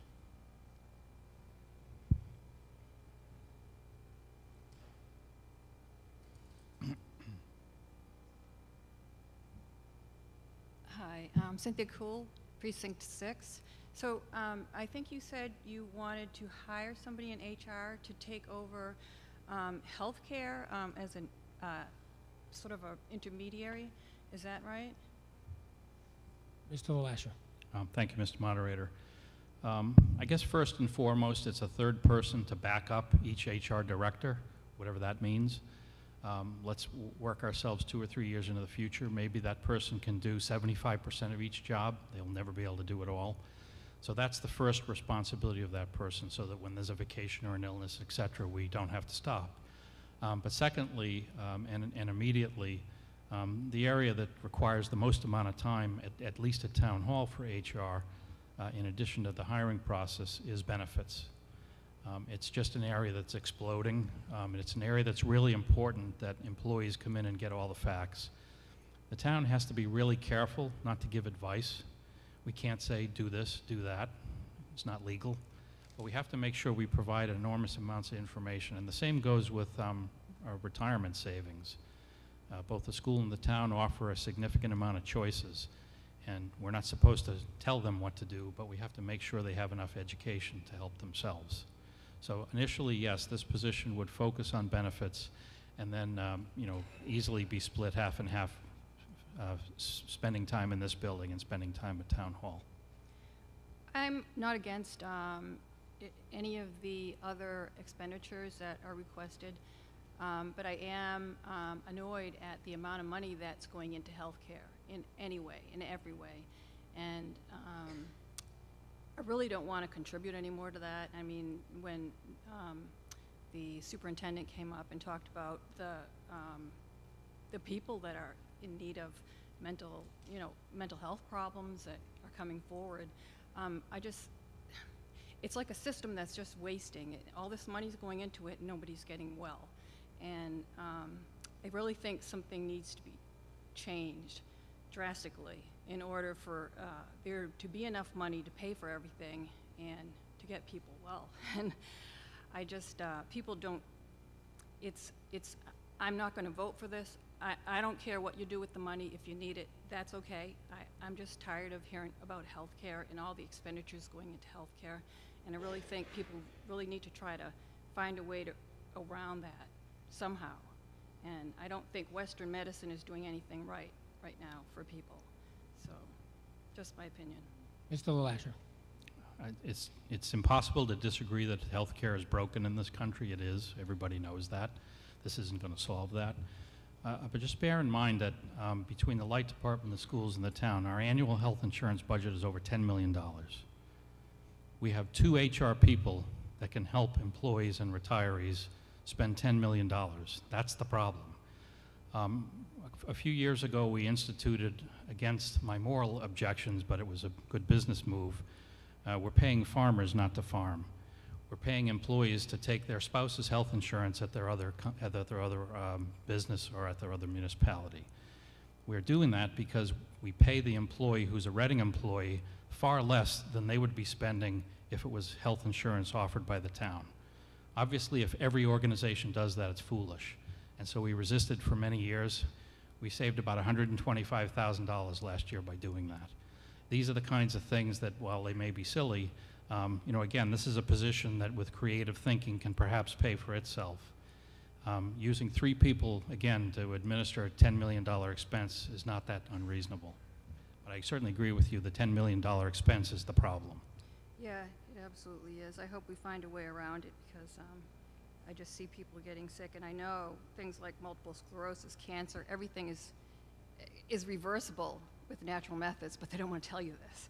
Everything's a pharmaceutical drug. It's a petrochemical. They're toxic. You're going to get sick from them. Okay, getting a little off uh, I subject know, here. but $10 million for health care, I think, is ridiculous.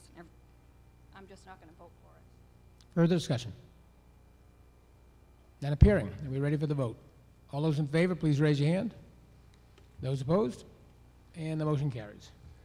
Business under Article 5, the, excuse me, under Article 6, the motion is made by Mr. Sexton. Is there a second? Second? Mr. LeLacheur. Um, Thank you, Mr. Moderator. First, as a disclaimer, nobody likes me. Um, I own property on a public, on a private road, so I did not participate in the early discussions that were had. Um, The uh, actions in front of you do not affect any of the uh, property that I own, the property that I own. So I just wanted to make sure to say that. Um, In late 2012, we had a petition from residents of Roma Lane. Um, They learned, much to their surprise, that they had a public street, a private street. Um, They thought they lived in a public way. Uh, What happened was the developer never finished uh, the the paperwork. It's something that can easily slip by for 20 or 25 years in this kind of situation because your road does not need significant repairs. Um, The town um, does uh, repair private roads to the extent that an ambulance or an emergency vehicle can have safe passage. Uh, But that does not mean bring it up to, you know, a new modern condition, if you will. A few months after that petition, I asked staff to look at all private roads. If we're going to do this for one, we should do it for all, and uh, determine uh, how much, you know, how much work there would be. And I have to say, I was shocked at how much time it took. I've, I wrote some of the background to give you some of that, but there were about 80 private roads, um, and many of them could not be determined how they became private because uh, the paperwork just was not complete, and it was about 350 years old, I think. In February 2015, probably a year longer than I expected, the selectmen invited all the residents in for an overview, and again, that's a meeting I did not attend. Um, They first described to all the residents that historically, for a private road to become public, you first, as residents and owners of the road, have to bring it up to acceptable conditions to the town if we're going to then take over its maintenance, which is a generally reasonable concept. Our employees determined that there were six types of roads. I, I wrote them into the uh, background for your enjoyment. Uh, the first two are the only two that are material here tonight, though. Um, and these are the simplest examples that can be brought to you. the, the process had been completed, the work had all been done, but the paperwork had never been completed, and that was Roma Lane, for instance. Or the process uh, had not been completed. And I, when I mean process, as subdivisions in particular, uh, roadways was, were designed along with sidewalks to have certain conditions. They weren't always completed that way. Sometimes the developer left a financial bond behind and just walked away. Um, any of you that have been involved in any kind of a construction project know that feeling when they just move on to the next one and, and leave you kind of behind. Um, but we had funds to finish the work, and we did that in some cases with our DPW staff. So six private roadways from these two groups are in front of town meeting for tonight. As far as we can tell, any other private roadway that might advance to this body through the selectmen will likely have improvements and costs. So in the last five years, I, I can remember two or three such examples where the residents come into the room, the selectmen have a hearing, and historically, the Board of Selectmen has been reluctant to approve betterments unless an overwhelming majority of residents want it. That does not mean unanimous, but it means probably eight out of 10 or nine out of 10 want it. And I would expect something similar going forward. And again, these six roads are coming at no cost because they're already in perfectly fine condition.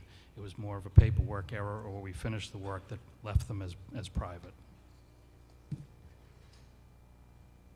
They came to, through two different paths.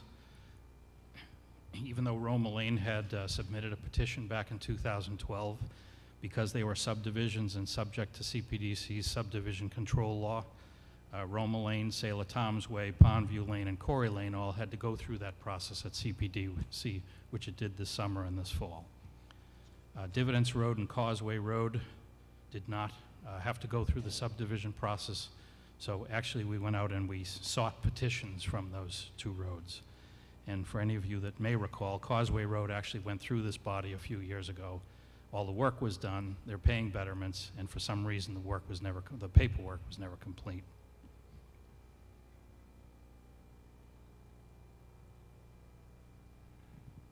Just so you can get a visual on these roads, and I'm going to show you some really cool maps. We'll start with Causeway.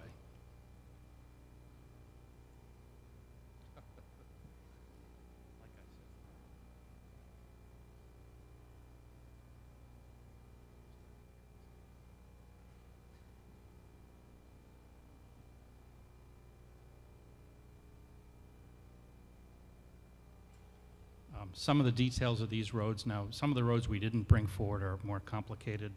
Um, But some of these roads are very complex that either your house is or is not included, your driveway is or is not included. These six are pretty straightforward, but I just want to make sure that um, all the residents affected have been alerted to this type of information. Uh, So the descriptions about, for instance, Corey Lane from Zachary Lane to Dead End is pretty clear. Uh, In the future, should we have other roads go through this process, um, there'll be a little bit more detail needed because of sections of private roads um, that are affected. Uh, But we have some really good mapping capabilities for it. Um, So that's all I have unless there's any questions. Okay, we have a bylaw committee report. Mr. Crook?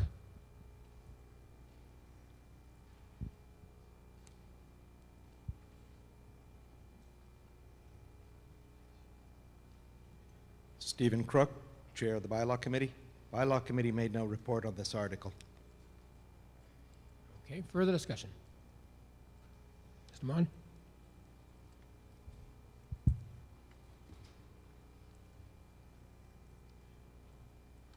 Thank you, Mr. Moderator. Jamie Mon, Precinct 4. Just a couple questions.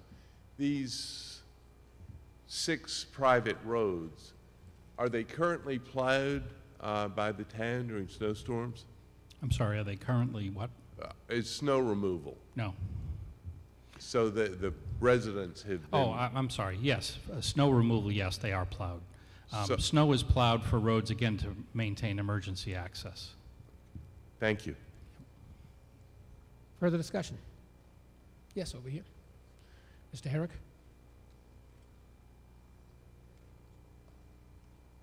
Uh, Steve Herrick, uh, Precinct 8. Uh, I actually live on Dividence Road, so I support this. Uh, Sort of a question I think I addressed to the board, I think, I'm not sure who the right people is to take this up. Um, Most of these situations we're looking at, and this is just kind of looking down the road a little bit, uh, seem to be uh, a result of a developer of one sort or another saying, yep, I'm gonna do this, going through doing the work, and then, as we say, kind of dropping the ball just, you know, a couple of yards short of the goal line. I'm wondering if it's possible, advisable, or legal to uh, potentially include something in, in the way we administer these things that would incentivize developers to finish this, so we don't have to keep going back to do this every couple of years. Is it possible, I know you mentioned, uh, Bob, that there's bonds that they put out, those bonds are intended to cover the cost of the road.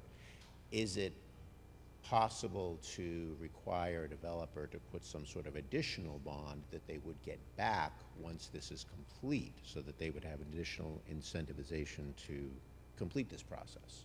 I don't know if that's, uh, is that a legal thing to do, or, or not? I would love to do that, but I think town counsel would say it's illegal. I think you're only allowed to hold money aside to do work that would be needed. Now, you can lean into the estimate a little and make it a little bit higher, but you can't say another 500 grand or you're never getting it back.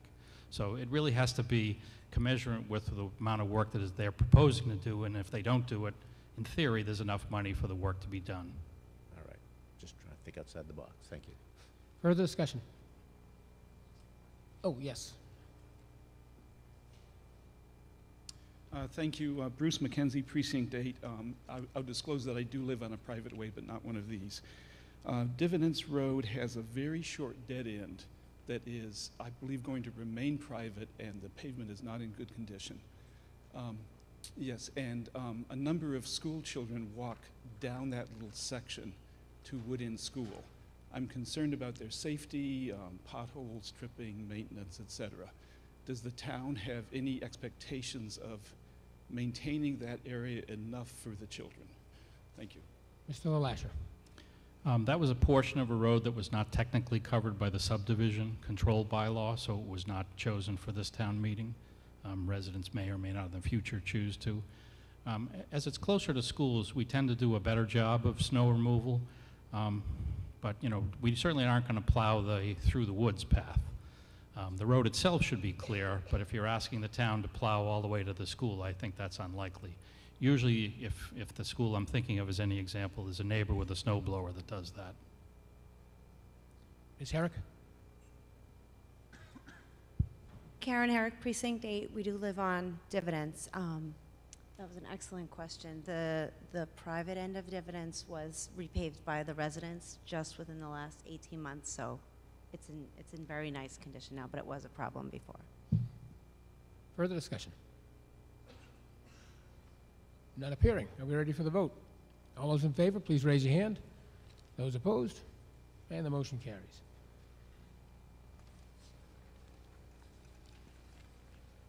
Business under Article 7. Mr. Hanson makes the motion. Is there a second? Second? Mr. Hanson.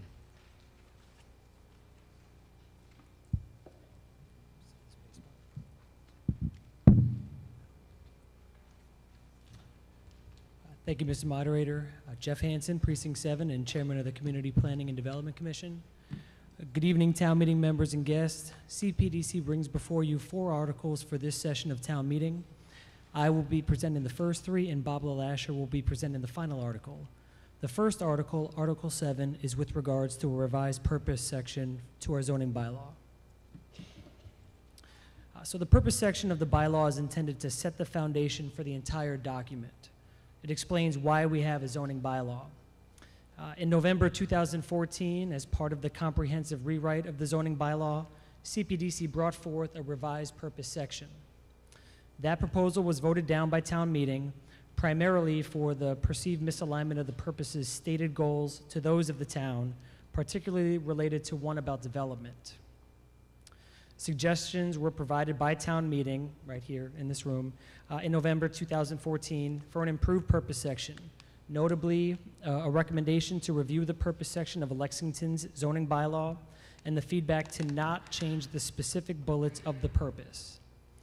CPDC revised the purpose section based on this feedback, which we feel addresses the concerns and suggestions from the 2014 special town meeting.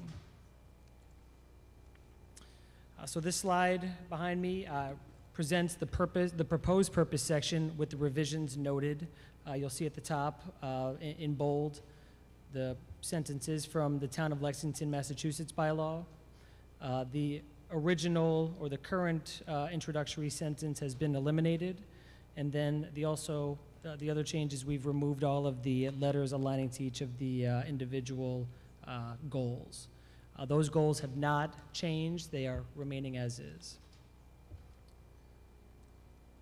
So this here is a clean version of uh, the proposed purpose section. So if we uh, approve this, this is what will be added or uh, basically replace the current version with, uh, with this. Thank you for your time. CPDC report, Mr. Safina.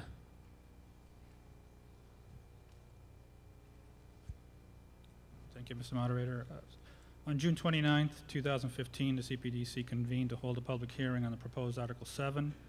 Public hearing was held to provide an opportunity for comment and to determine whether the provisions of the amended zoning bylaw shall be adopted by the town. All documents were made available on the town website and at Town Hall. The June 29th, 2000 CPDC public hearing was opened at approximately 7:30. Presentation was made by the planning staff and discussion followed.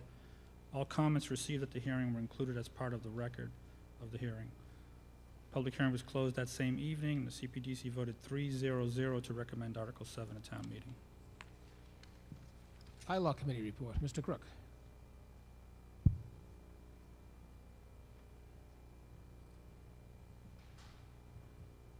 Stephen Crook, Chair of the Bylaw Committee. At the Bylaw Committee's meeting of October 13th, they voted 5-0-0 to recommend the article. Further discussion? Oh, yes. Mr. Downing.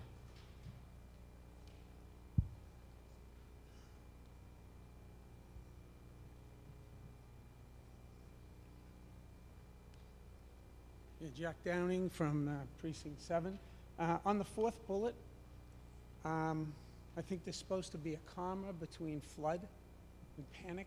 I don't know what a flood panic is, but I think, um, and uh, also, we reference Section 2A of Chapter 808 um, in the Acts of 75, but that was deleted in 1987. I don't, I don't know why we're referencing something that doesn't exist anymore. Um, I realize that we've adopted something from Lexington, and maybe Lexington's bylaw was done before 1987, but Section 2A of uh, Chapter 808 doesn't exist. Um, The other question goes back to that fourth bullet. Um, What is congestion? I mean, the second bullet already talks about lessen the congestion in the streets. Is this about the congestion in my chest that I get in the fall and the winter? Or what is this congestion? Is it the same as I- bullet two, or is it something else? If we don't, if we don't know, we should take it out. Would you like to, okay. Duly noted on the comment, we should definitely make that as an amendment, um, and I'd be happy to propose that. Um, Is there any objection to be, the comment being added as part of the main motion? None appearing, then we'll accept that. Oh, Two No, no, no, oh, I'm comma. sorry, the one you were, between flood and panic, I was, I was assuming. So bullet four, to se- to secure safety from fire, flood, comma, panic. Right now, there's not a comma there, so we're gonna add that in. It's a Did did you have a second one that I missed? No. I, I actually had three. One, one, I don't think we need to. Oh, no, so I'm just talking strictly the comma right now. Okay, the comma, yeah, the comma needs to go in there between Okay, flood and is there any objection to that being part of the main, is, objection? Okay. Uh,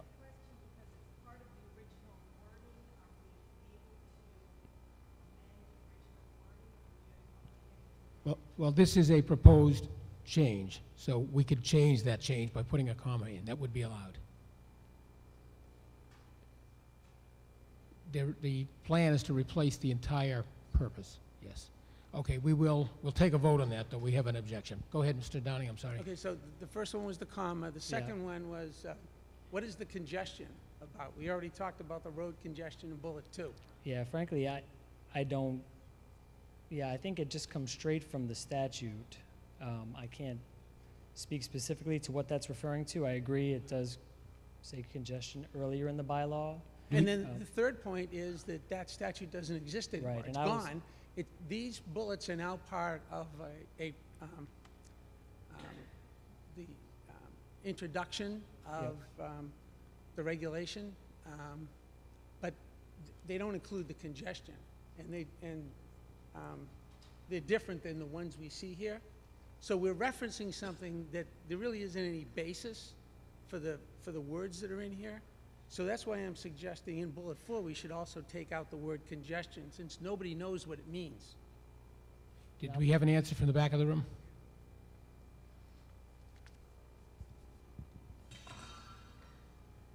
Thank you, Mr. Moderator. Nick Safina, Precinct 3, and member of CPDC. I don't think this is the best wording. I do believe it's directly from the, the uh, model bylaw, or from 2A rather, but uh, the second congestion actually refers to overbuilding. It's talking about fire, flood, panic, that's typical code language for when you're building too densely, as opposed to congestion in the streets, which has to do with traffic mitigation.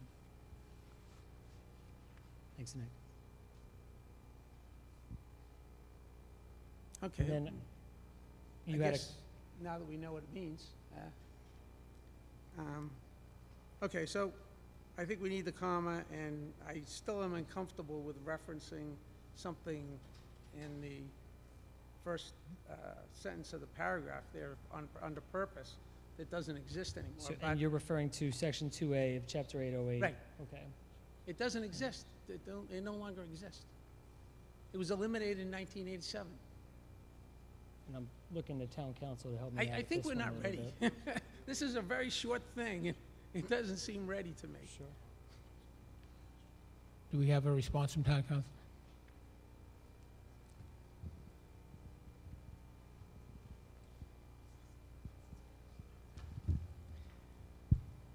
So chapter 808 of the Acts of 1975 is the statute that created the zoning act, what we call chapter 40A of the general laws.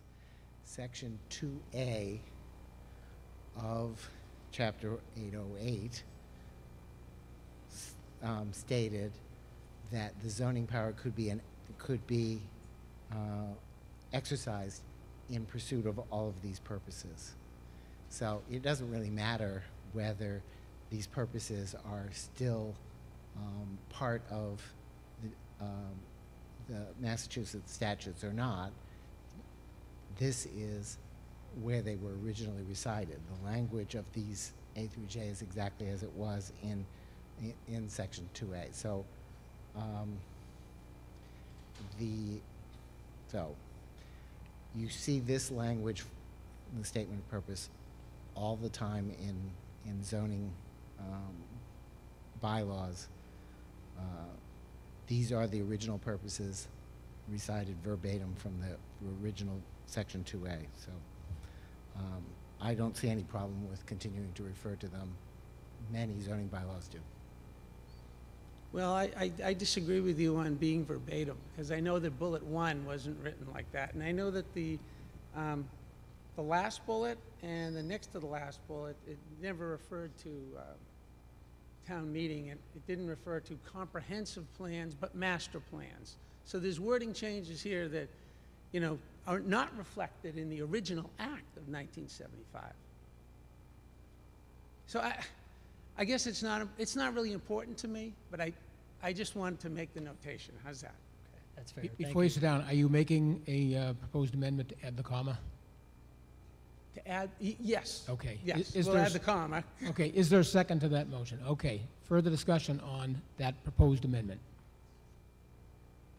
None appearing. Oh, I'm sorry, Mr. Daddario.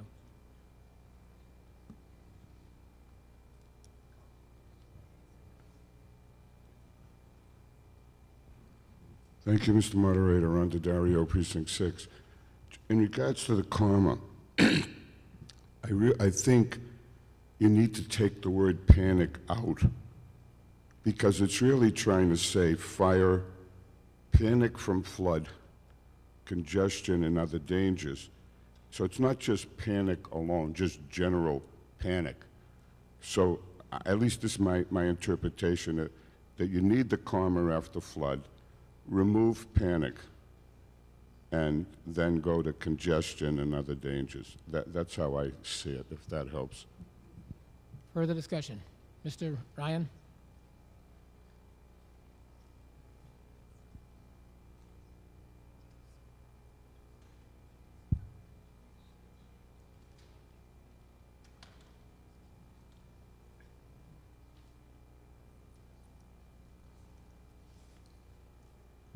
Thomas, Thomas J. Ryan, Precinct One.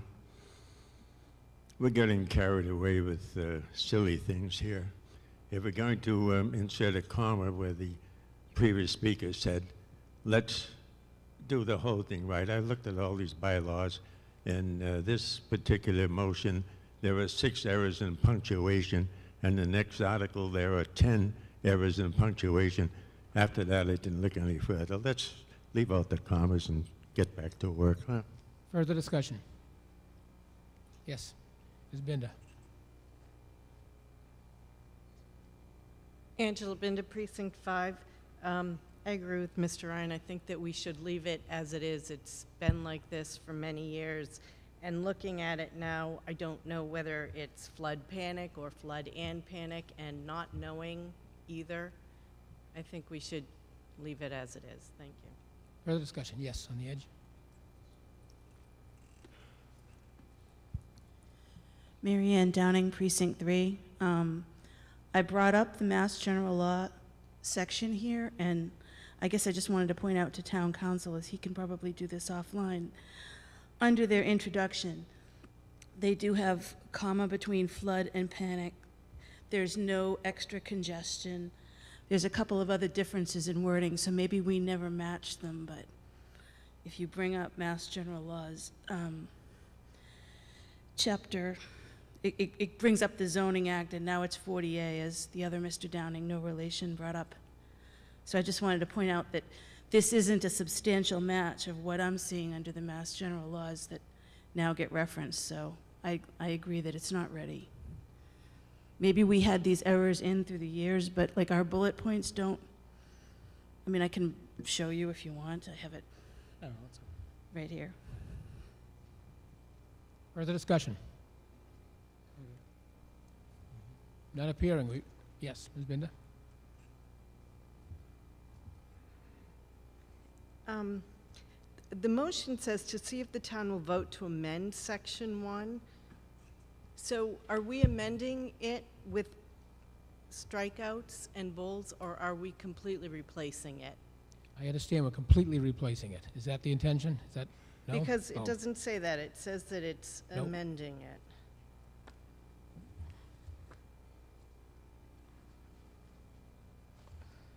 This article is not intended to be an amend, uh, to be a strikeout and replacement. The only changes are the ones noted. The introductory information, this bylaw has been adopted, and um, striking the A through J and just leaving them without any, without any lettered designation.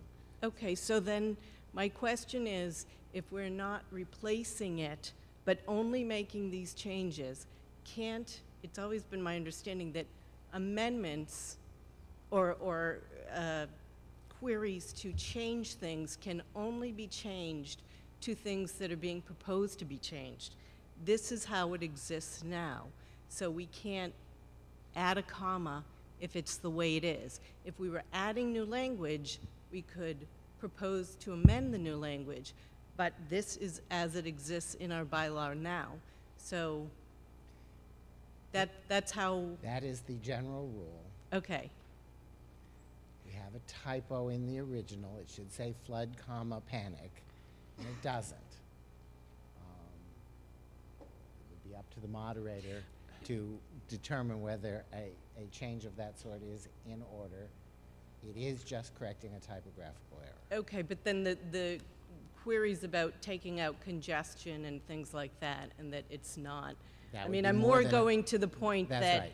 It's not that we're rewriting the whole thing and it's not ready to come back, it's just a few typos. That is correct. And if you start striking words, I think that's, that's a change. If you want to correct a typo, it's up to the moderator if you will tolerate that. To be honest, I was assuming that was a, uh, a new change, and I was going to allow it, but I, having, having had that pointed out to me, I cannot allow it. It's, it does open up a can of worms if you start allowing that. This is not part of the, the motion before us. So I would say that the motion to add the comma is now out of order. I, I've been to the hearing and many meetings on this. There has been so much discussion on this, and with public hearings and discussions at last. So I really hope that people support this and support what CPDC has done. Okay, we are about now back to speaking on the main motion. Yes, Mr. McKenzie? Uh, Bruce McKenzie, Precinct 8. Um, I'd like to move to table the motion. My intention is to table it until Thursday. May I explain why? Uh, uh, There's no discussion on a tabling, but if, I'll give you a very brief explanation. Um, Okay, it's concerning the, uh, this- the Chapter 808 of an act that does, no longer exists. Um, Just because other towns have a bad reference like that in their zoning bylaws does not mean we should have it. I think we Okay, so should the fix point that. is, you want to take, you want someone to look at that. Okay, that's about Yeah, as much as I can allow yeah, in that. okay. Okay, tabling is not um, um, Uh, but, uh, could it be- debatable? Could, could, con- could discussion continue, but could the vote be tabled? No, if we table it, the, the um, discussion stops and we move on to another article. Anybody So- want discussion? Right now, we have a, um, a motion to table. Is there a Yes. second? Second. This is non-debatable. All those in favor of laying the uh, substance of Article 7 on the table, please raise your hand. Those opposed? And the motion does not carry. We will now return to speaking on the issue. Further discussion. Ms. O'Neill?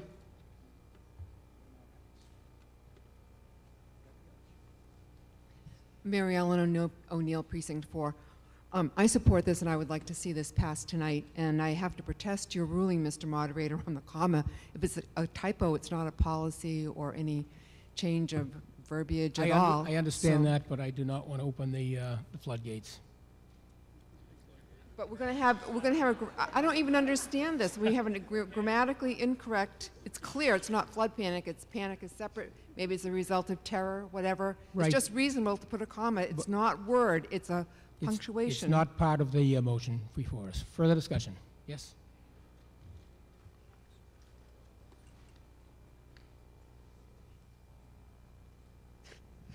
Uh, Patrick O'Sullivan, Precinct 5. I'd like to move the question.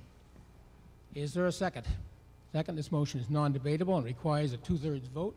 Uh, Mr. Brown, can I ask you to take uh, my right and the Finance Committee? Uh, Mr. Crook, would you take the center to the, to the wire?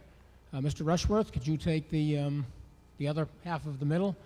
And Ms. Russell, would you take my left and the Board of Selectmen? Now, this is a motion to end debate. All those in favor of ending debate, please rise.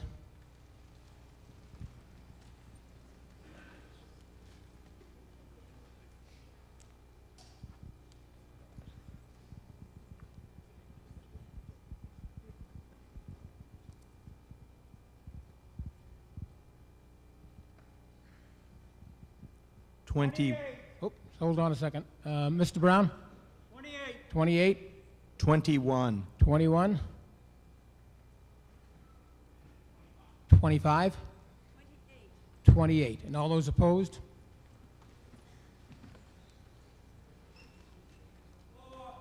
Four? two, Two? Oh, excuse me, five and two? Five and two.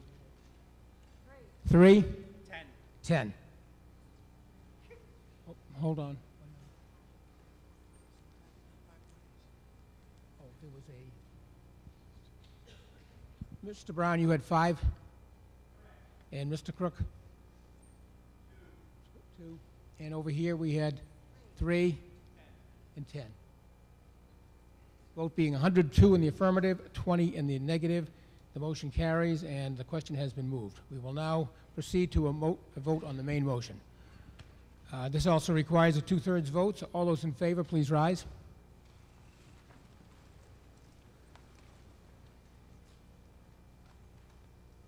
Oh, same, same counters, yes, I'm sorry.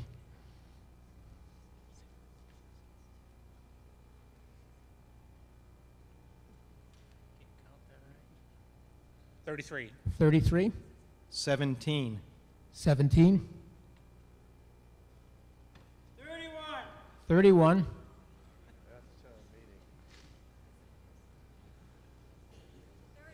31. 30. And those opposed?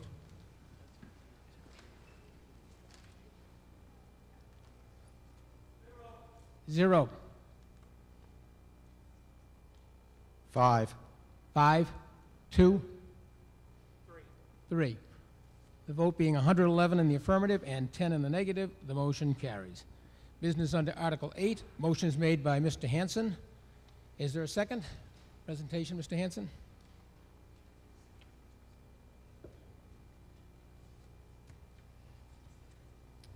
Thank you, Mr. Moderator. Jeff Hansen, Precinct 7, and Chairman of the Community Planning and Development Commission. The second article, sponsored by the CPDC, Article 8, is to replace the existing Section 5.6.3 entitled Commercial Communication Structures with a new Section 5.6.3 entitled Personal Wireless Services Facilities. The motivation behind addressing this section of the bylaw actually came from town counsel, uh, who strongly encouraged CPDC to tackle a rewrite of the bylaw as the current version does not conform to the requirements of the Federal Telecommunications Act. Uh, it does not include facility siting parameters, which we'll get into in a little bit, uh, nor does it require that an applicant provide a demonstration of need. The proposed bylaw maintains some of the current requirements while changing others and implementing new requirements. Something that is not, that is not changing is the requirement that personal wireless service facilities, or PWSFs, must obtain a special permit, which ensures all such proposals go through a a rigorous review process. A proposed change to the special, a proposal is to change the special permit granting authority moving it from the Zoning Board of Appeals to the CPDC. Sorry, I got messed up with the slides. Let me move over here. So to be clear, the federal law states that these facilities cannot be prohibited.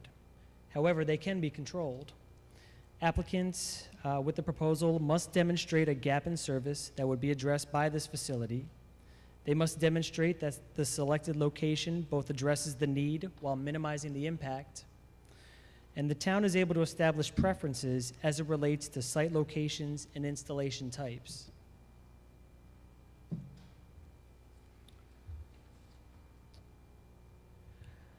The CPDC had much discussion on defining the order of preferences for PWSF site locations. So the order of preferences has been defined as follows. The first preference uh, would be a site located entirely within an interstate highway right-of-way. The second preference would be a site located entirely within an, an industrial zoning district. A third preference, the third preference would be a site located entirely within uh, Business A or Business C zoning districts, which aka, not downtown. And then the fourth preference uh, would be a site located within the residential S15, S20, S40, A40, A80, or within the Business B zoning districts. The CPDC also spent uh, a great deal of time discussing the order of preference for installation types. Uh, so the order of preference that uh, was defined by the CPDC, which is in this proposal, is as follows. Uh, we've got the first preference, uh, so the following PWSF installation types are of equal preference to one another.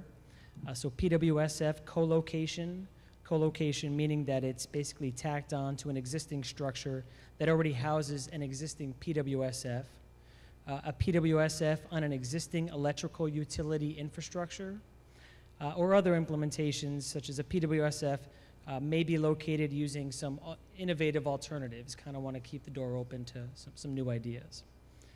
The second preference would be uh, PWSF site sharing, uh, meaning that a new PWSF would be built on a parcel of land that already contains a PWSF.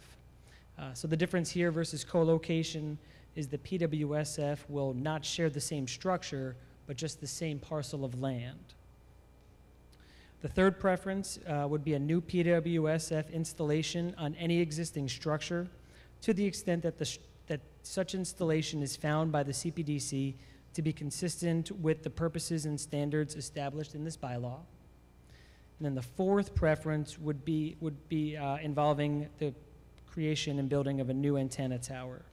Uh, so PWSFs, which require the construction of a, a new antenna tower, would be uh, the lowest priority, or I should say, uh, the, the lowest order of our preferences.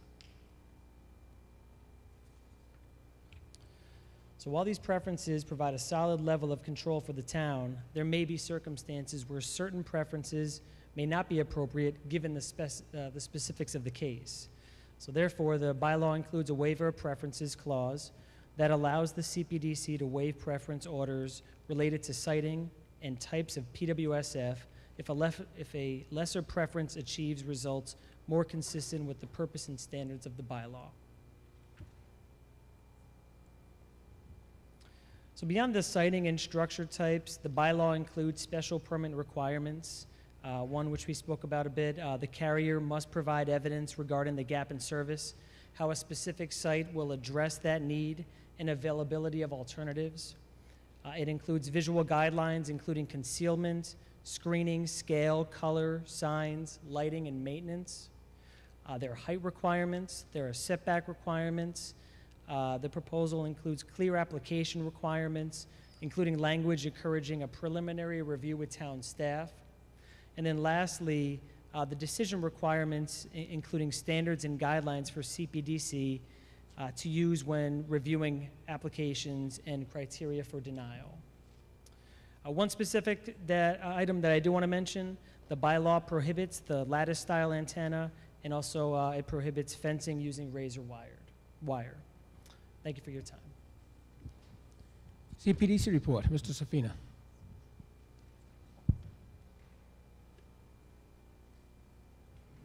Thank you, Mr. Moderator. On July 13th, 2015, the CPDC convened to hold a public hearing on proposed Article 8. Public hearing was held to provide an opportunity for comment and to determine whether the provisions of the amended zoning bylaw shall be adopted by the town. All documents were made available on the town website and at Town Hall. The July 13th, 2015 CPDC public hearing was opened at approximately 7:30 PM. Presentation was made by planning staff and discussion followed. All comments received at the hearing were included as part of the record of the hearing. Public hearing was closed that same evening. CPDC voted 400 to recommend Article 8 to town meeting. Bylaw Committee report, Mr. Crook.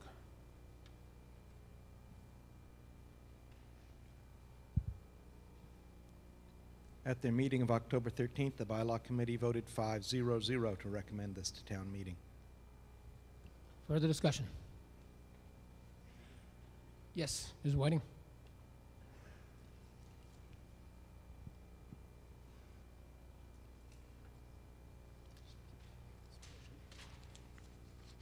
Um, I'm Carolyn Whiting, Precinct 7, and I would like to offer an amendment to Section 5.6.3.2.E.3 um, to, this is um, additional required setbacks. And I would like to add a clause that sets a limit um, um, that, that they should be no closer than 500 feet. And also, um, whichever is greater from what is there now, which is three times the height of the antenna. Um, and I would also like to add, um, that, uh, any re- residential structure to the list. So it would read, additional required setbacks in all districts PWSS shall be placed no closer than 500 feet or three times the height of the antenna above grade, whichever is greater, to an existing school, child care facility, nursing or convalescent home, assisted living facility, or any residential structure. Okay, hold on one second. Five, six, three, two. E, three. E. Just having a little trouble finding the spot. It's, um, Can you, re- can you repeat the number again, please? It's, okay, it's five point six point three point two point E point three. Additional required setbacks. It's, um, Okay, thank you. Is there a second? Second. Ms. Whiting?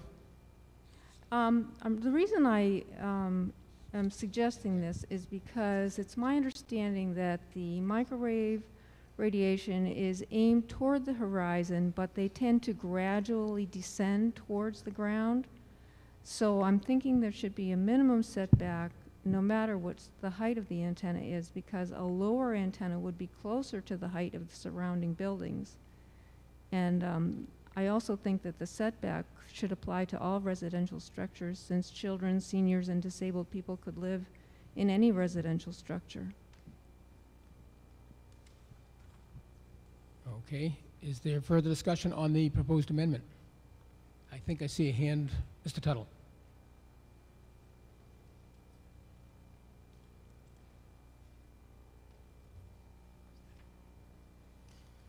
Thank you, Mr. Moderator. Uh, Dave Tuttle of Precinct 3 and a member of the CPDC. And I will read from a posting on the Federal Communications Commission that states, Section 332C7 of the Communications Act preserves state and local authority over zoning and land use decisions for personal wireless service facilities, but sets forth specific limitations on that authority. Specifically, a state or local government may not unreasonably discriminate among providers of functionally equivalent services, may not regulate in a manner that prohibits or has the effect of prohibiting the provision of personal wireless services, must act on applications within a reasonable period of time, and must make any denial of an application in writing supported by substantial evidence in a written record. The statute also preempts local decisions premised directly or indirectly on the environmental effects of radio frequency emissions, assuming that the provider is in compliance with the Commission's RF rules. This amendment is illegal. Further discussion? Mr. Brown?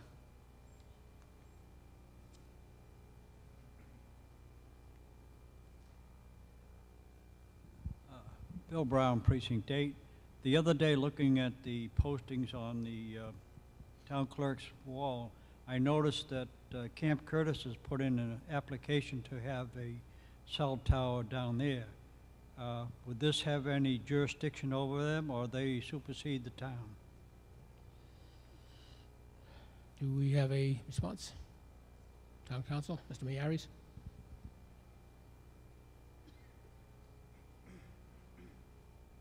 Well, the answer of whether it would apply um, depends on when that application was filed. And Camp Curtis sounds like a federal facility, so is that, are you saying this is a, this is a federal um, tower? Uh, I, I have no idea. It just, uh, it just said a, a cell tower, so whether it's federal or, I, I have no idea. Mr. Miyares? They were Okay. looking at it for an income, I guess. Okay, so if it, the, if it's a federal facility, I'm sure the federal government will take the position that it's exempt from our zoning. Yep. And we won't be able to fight that. If it's a state facility, the state will probably take the position that it's exempt from our local zoning, but we might actually be able to fight that. But whether, it- whether this would apply to them um, depends on when the application came in.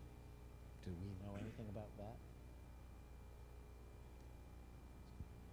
All right, so if it hasn't come in yet, then this, if, if we can make this stick and apply to them, it, it, it's in time.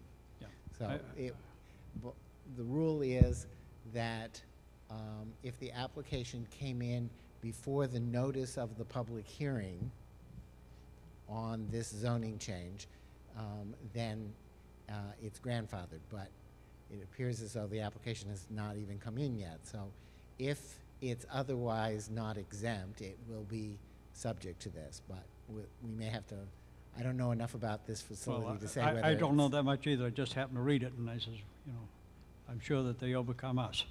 Okay. Mr. LeLacheur?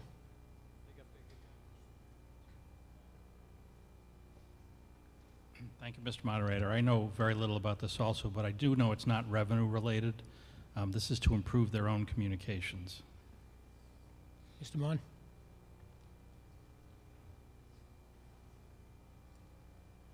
Thank you, Mr. Moderator. Jamie Maughan, Precinct 4. And in response to Mr. Bryan's question, when something occurs at Camp Curtis Guild that involves wetland resources, they do have to comply with both the State Wetland Protection Act and the town wetland bylaws. So in that case, they do have to comply. So I would assume they would have to comply with this bylaw also. Further discussion on the amendment, proposed amendment? On the, on the amendment, yes.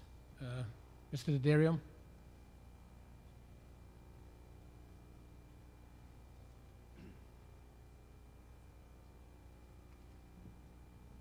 Uh, Thank you, Mr. Moderator. Under Dario Precinct 6.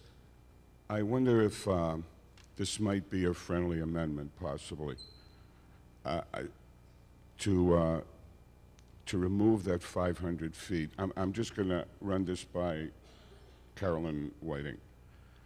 If we remove the 500 feet, which might be objectionable, but we leave in the or other residential structure, so that we are asking that the three times the height, um, how's it go?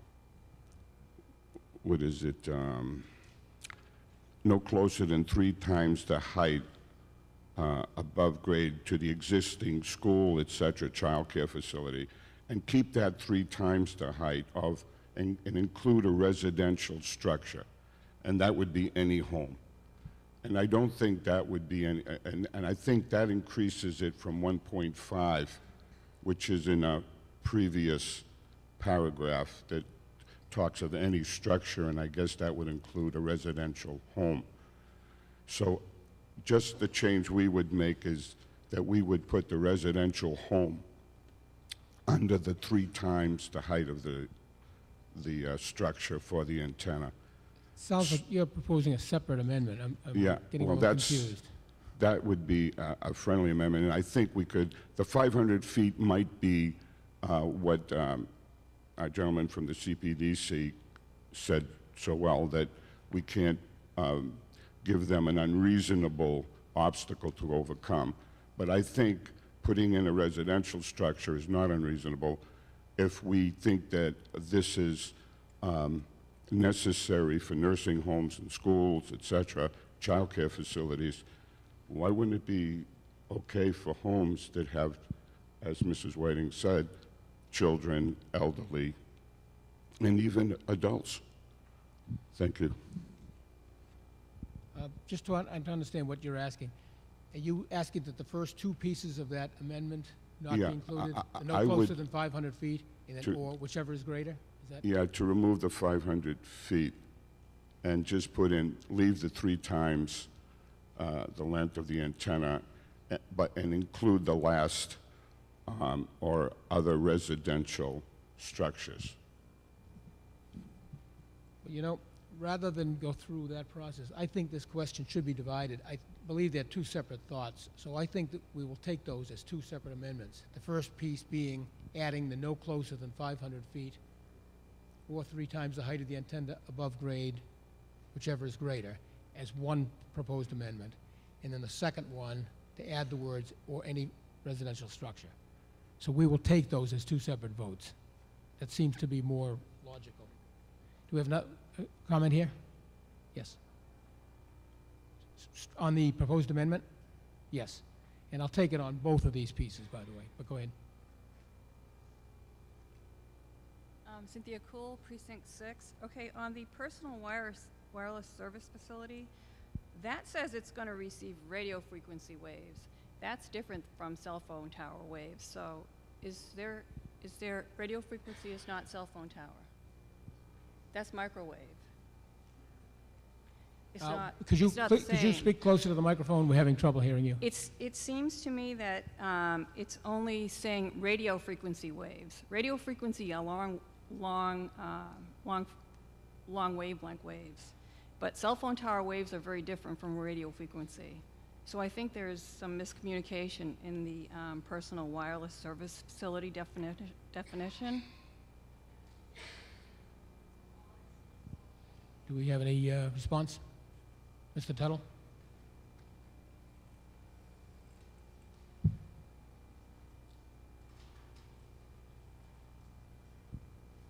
Uh, Thank you, Dave Tuttle, Precinct 3, and a member of the American Radio Relay League for about 55 years.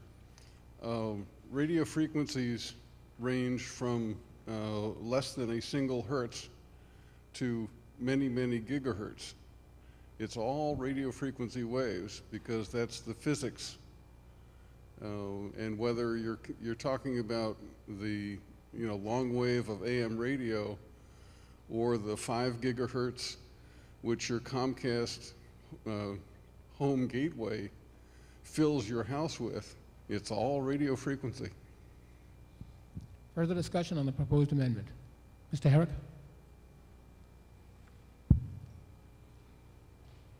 Steve Herrick, Precinct 8.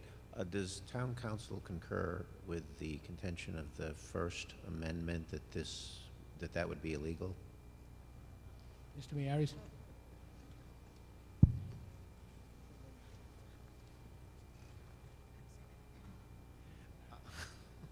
So no.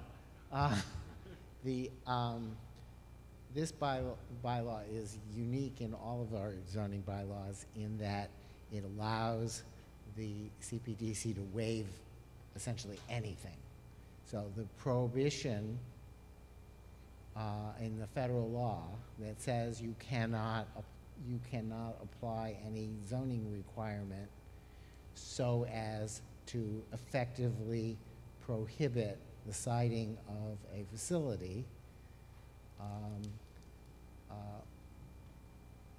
we, the way we get around that is we put down the, the standards we want, and then we leave it to the CPDC to waive them if somebody comes forward and demonstrates that the application of that uh, particular standard would effectively prohibit uh, the siting. So, um, uh, I don't know that we have anything else in the zoning quite like this that allows CPDC to waive essentially anything that's in here. So that's how we get around the, the, um, uh, the federal prohibition. Further discussion on the proposed amendments? Not appearing. We'll first take a vote on the first part, which adds the no closer to 500 feet or, and also whichever is greater. All those in favor of that proposed amendment, please raise your hand. Those opposed? And the motion does not carry. The second piece that would add, or any residential structure. Uh, All those in favor, please raise your hand. Those opposed? And the chair is in doubt on that one. Could I have my, the same four counters? All those in favor of that uh, second proposed amendment, please rise.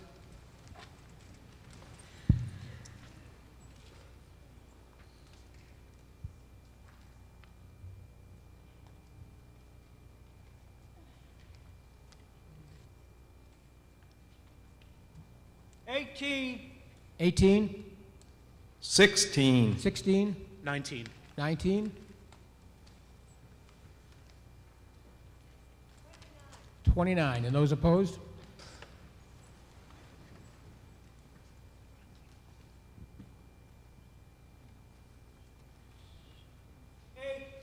Eight, Five. five, Four. four, Nine. nine. Well, not nearly as close as it looked. 82 in the affirmative, 26 in the negative, the motion carries. We now go back to the uh, main motion as amended. Further discussion? Yes, in the far, in the back?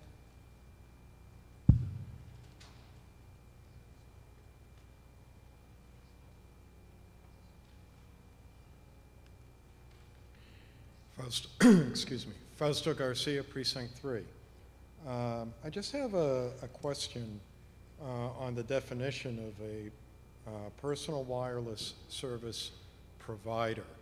Uh, It, it's part of the personal wireless service facility definition that uh, for some reason wasn't put up on the screen. And the basis of my question is uh, for my house to get cell phone service, I need to have a small repeater in my house. I just want to make sure that we're not, you know, uh, introducing something that, uh, that's going to cause a problem. And perhaps we should have a minimum power level inserted here where we have to look at this issue. Do we have a response? Yes, Mr. Safina?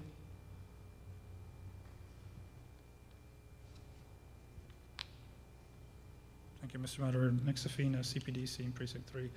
The definition of personal, personal wireless service facility specifically says that it's from a personal wireless service provider broadcasting these, these signals. So it's not your personal repeater, it's their towers and their repeaters and their signal. It's the service provider. Okay, thank you. Further discussion? Yes. Um, I'm still against the leaving in of the verbiage radio wave because radio wave is a long wave. It's separate from an X-ray. It's separate from um, infrared on the spectrum. Anyway, what I want to say is um, that um, cellular communication towers um, have been detrimental in many ways to human health.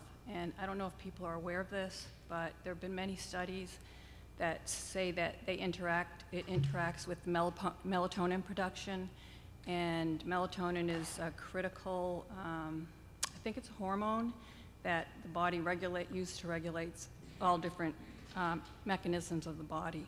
And um, I really feel that people need to think, if not table this right now, and think about um, the amount of power, as someone else just mentioned, that's coming through the cellular towers, that's going to be in your neighborhood or um, uh, up and about, um, I do think it's going to be um, a serious problem, especially if smart meters start coming around and things like that.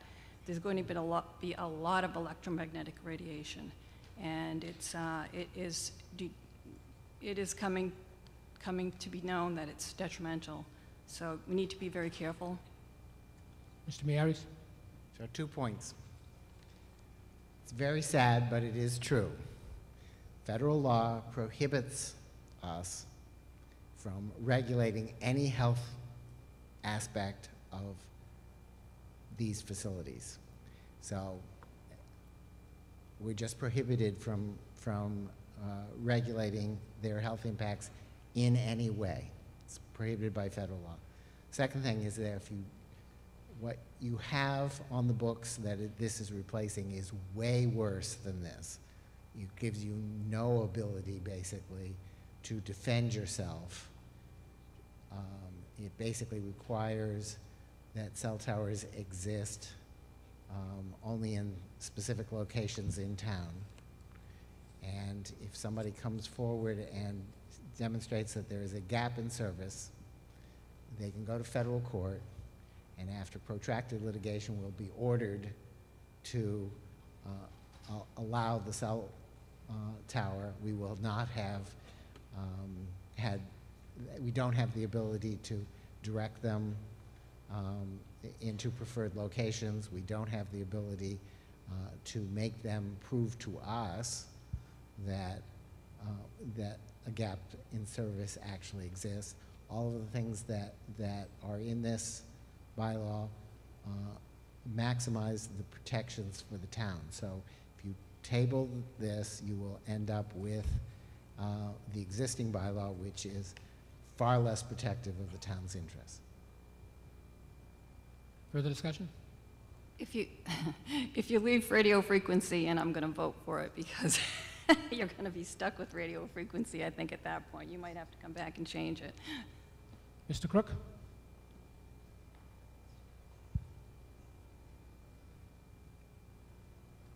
Stephen Crook, Precinct 2, also an FCC licensed amateur radio operator, extra class. I would disagree with the prior speaker on uh, whether or not these are radio frequencies. Mr. Maughan? I'll- I'll get back to Mr. Barnes next, sorry.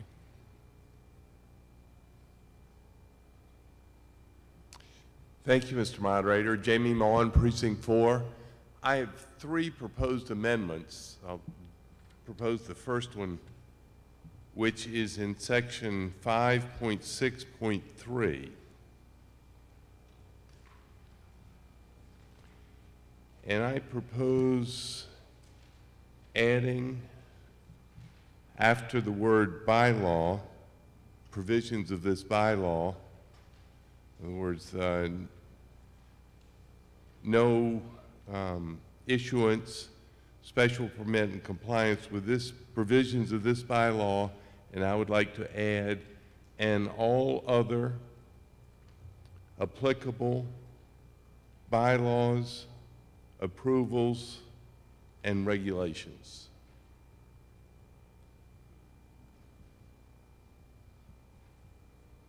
Okay, we will discuss just that one first. Is there a second? Second, Mr. Maughan? Do you have any more discussion? No.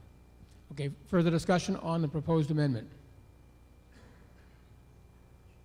I, I'm proposing this amendment to make sure, um, as many of you might have guessed, that these are only placed in compliance with the 10 wetlands bylaws and the State Wetland Protection Act, but it will also apply to other regulations such as historic districts. Further discussion on the proposed amendment? Not appearing. All those in favor, please raise your hand. Those opposed? And the motion carries. Now, before we come back to you, uh, Mr. Barnes, where are you? I I missed you a couple of times, I'm sorry. Thank you, Mr. Moderator. Jonathan Barnes, Precinct 5. Um, Forgive my ignorance, I- I may be more old school than I would like to admit.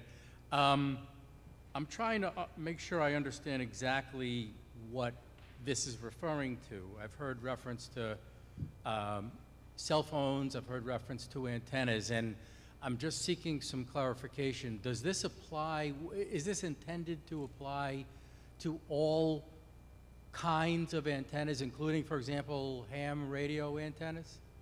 Or is it only cell phone antennas? We have a response? Mr. Miyares?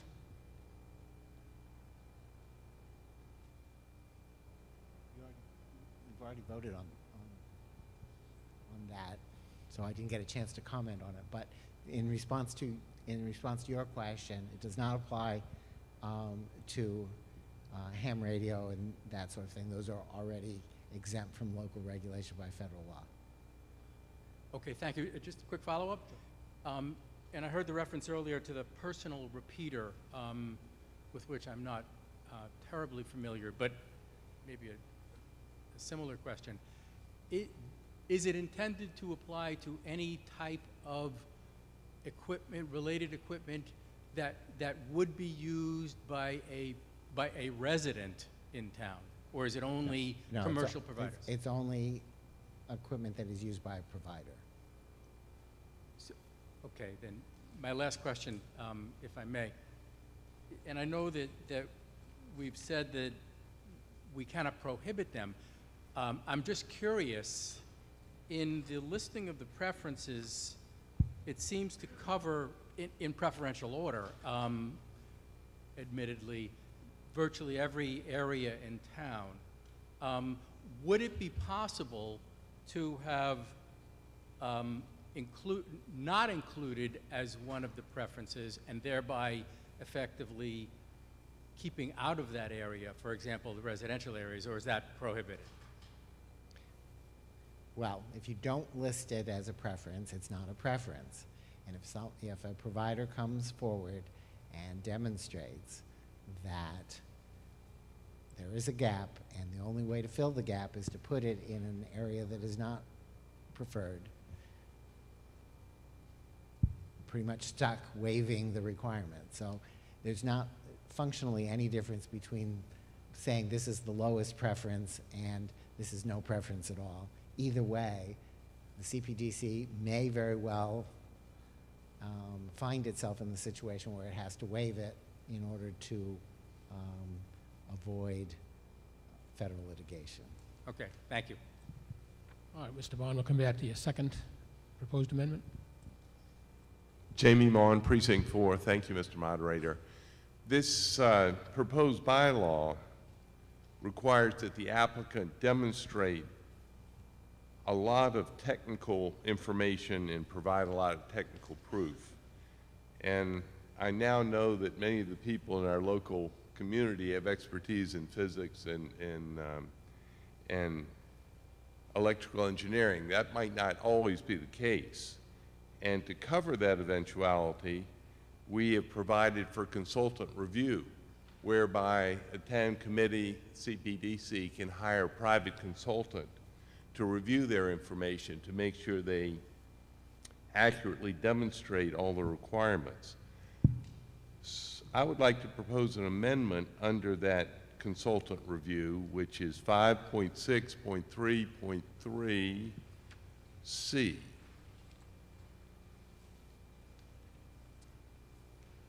We are asking for the consultant review involving the placement, construction, and modification of PWSFS is under the zoning bylaws. I would like to add to that list involving the placement, construction, need for coverage, and modification, because I think one, as we've heard several examples, if the applicant can prove they need this tower for coverage, we have to grant it to them. So I think we should be able to hire a consultant to confirm their analysis of need for coverage. Is there a second to that uh, proposed amendment? Second. Further discussion? Not appearing. We're ready for the vote. All those in favor of the proposed amendment, please raise your hand. Those opposed? And the motion carries. Mr. Maughan, did you have a third one? Third time's the charm. Jamie Maughan, Precinct 4. And this proposed amendment is under Section 5.6.3.4 decision. And I would like to add under A1, I'd like to add a A1D. This is a, an additional requirement. And that requirement is that in order for the uh, approval, they have to demonstrate it is in full compliance with the State Wetland Protection Act and the town wetland bylaws. I understand this might be somewhat repetitive to what we've already approved, but several of these conditions are repetitive, and I think appropriately so for emphasis. Before we take a second, did Mr. Miyares have a comment? You can take a second. Oh, okay. Is there a second? Second, okay. Uh, Mr. Miyares? Okay, so this is, uh, I would have objected if I managed to get up here fast enough to your first one, and I'm, and I'm going to object to this one as well. Um,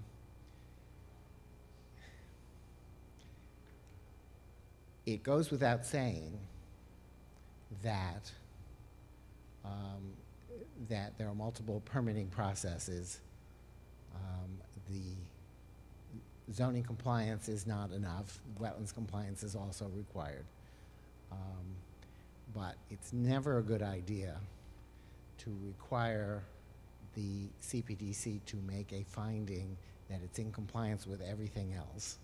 Uh, It means that the CPDC's permit will have, has to go last, which is often not the best way for it to go. And um, the, um,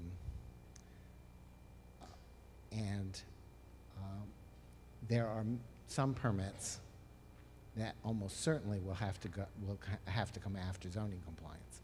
So uh, it, it was, so I would recommend um, against this, and, um, and I would have recommended against your original proposal a- as well if I had managed to get up here fast enough. Before we continue, I need the exact wording. Right now, we have to demonstrate. Point of order? Under advice of counsel, I'll withdraw my uh, amendment.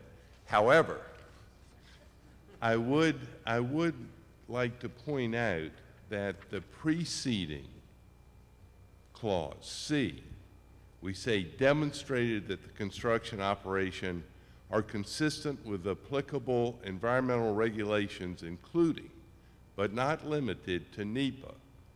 Now, I- don't want to speak for the CPDC, but I would bet that the CPDC is much more familiar with our wetland bylaws than they are with NEPA. Um, But yet we point that out. So I would like to propose a different amendment Before and. we- Before we continue, is there any objection to the withdrawal of the, his previous one? Not appearing? Mr. Maughan? Okay, to simplify, my amendment then is to add a phrase to that item C where we say, but not limited to NEPA criteria and wetland protection regulations. I think if we can point at the National Environmental Policy Act, which is um, rarely applicable in this case, I think we should be able to point at our own wetland regulations. Is that the correct wording before we continue? Oh, Okay. Um, Is there a second? Second. Okay, discussion on that uh, proposed amendment. Not appearing. Are we ready for the vote? All those in favor of the proposed amendment, please raise your hand. Those opposed? And the motion carries. We're back to the main motion now. Uh, Any more discussion? Mr. Daddario?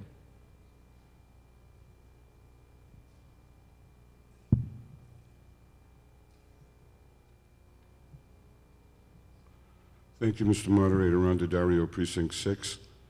And um, I know everybody's going to want to love this, but I would like to make an amendment. Um, And it would be, try not to drop everything.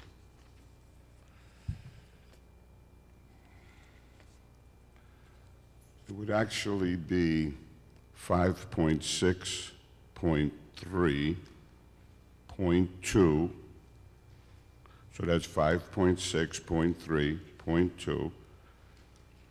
F, the letter F. There is a need, there's no F. So this would be a new letter F. with the subtitle, Keep going down. That's, that's. oh, there is an F? Oh, no, let me check it out. Am I, am I messing up Bob, I here? think you're in the wrong place. Keep going. See, Yeah, there's no F. Well, there's no F in my book. There's F is, E, E is setbacks, there we go. and I don't see an F. Am I missing something? Yeah, so I'd like to put an F in, and, and then the, the subtitle to F would be security. And it would say PWSFs with a height of 10 feet or less, or those on rooftops shall have provisions to inhibit persons from coming within five feet of its antenna.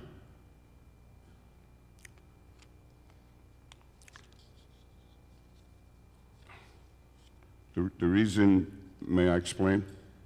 Let's just get it right first. Is that the, the right wording? Uh, I, I, I can't see it, unfortunately. S- Security, P- oh, this disappeared on me here. PWSFs with a height of 10 feet or less, or those on rooftops. Sh- shall have provisions. To inhibit persons from coming within five feet of their antenna. Okay, good. Is there a second? Second, Mr. Daddario. Uh, I have uh, two sources. Uh, One is from the FCC, it's called a Consumer Guide. Uh, And it, it says, uh, basically, um, just a short part of it, the calculations show that in order to be exposed to RF levels near the FCC's guidelines, an individual would essentially have to remain in the main transmit, transmitting beam and within a few feet of the antenna for several minutes or longer. So they're saying, they, they're using this and saying that it's, it's remote, you know, that someone would stand in front of the antenna for a few minutes or longer. Uh, and then from the American Cancer Society, uh, on the same issue, they say exposure levels approaching or exceeding the FCC safety guidelines are only likely to be found very close to and directly in front of the antennas. If this is the case, access to these areas should be limited. So my idea is if it's 10 feet or less, and it it also stated that on rooftops, uh, it's actually more dangerous, but you have to be in front of the antenna. So that's why I'm asking that we ask the provider to have a way of inhibiting uh, people from getting, reasonably inhibiting people from getting in front of the antenna.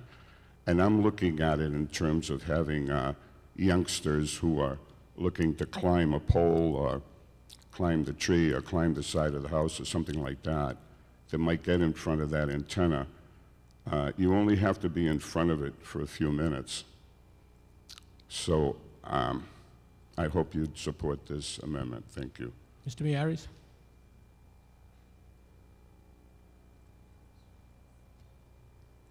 Do you mind if I do some wordsmithing? Do you mind if I do some wordsmithing? Not, I'm not too happy with the word their antenna, so um, how about if we just say within five feet thereof?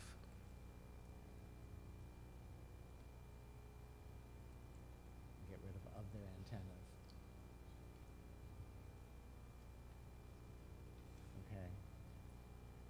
I don't know what inhibit means, so uh, how about if we, um, if we change in, in, inhibit to prevent, and, and then, of course, you don't want all persons, um, to be prevented, because some, because maintenance people and whatever, so maybe instead of saying persons, you, you mean members of the public. Is that what you mean? Unauthorized, unauthorized, to prevent unauthorized persons? Is that okay? I love it. Is that okay with the mover? Is there any objection to that being the, the proposed amendment? Okay, now, Mr. Miyares. The only other thing I have to say is, I wish you hadn't mentioned all those health and safety reasons I to said sec- justify I- no, this. Excuse me, I said security. Said Okay. security, doesn't Okay. say No, no, safety. I- It doesn't say safety up there, but your comments um, uh, were. I retract that, those comments. I hope, Exactly.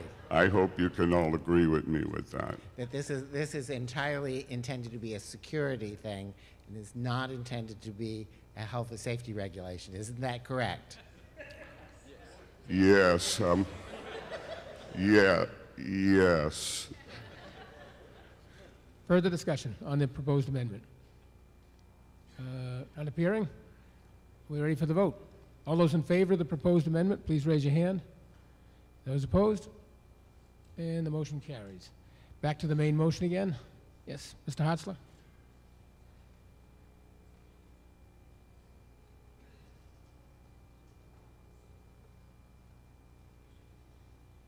Glenn Hartzler, Precinct 4. How many people here tonight have the cell phone with them? Is it on Wi-Fi? Then it's, it's a radio transmitter. It's transmitting, it's receiving. It's being effectively linked to a personal wireless service provider, namely the Wi-Fi that's in the high school building.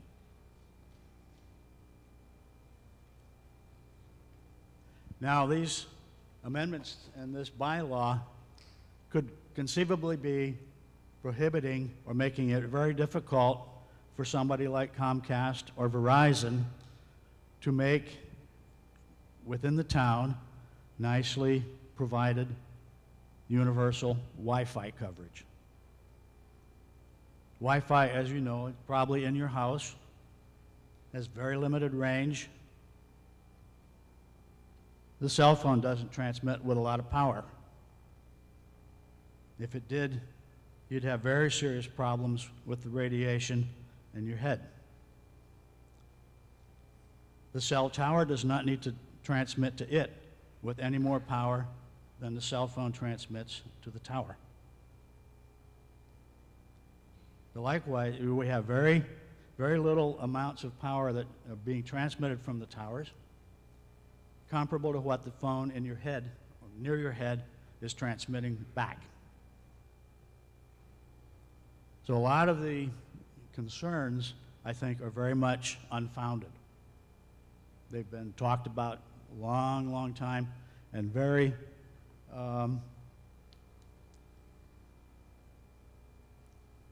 very much uh, opposition to the siting of towers for, I think, a, a really unfounded um, alarm over the radiation from the radio waves. So think about what might happen if we want to see townwide Wi-Fi, how that would, the limitations with distance from houses, from facilities,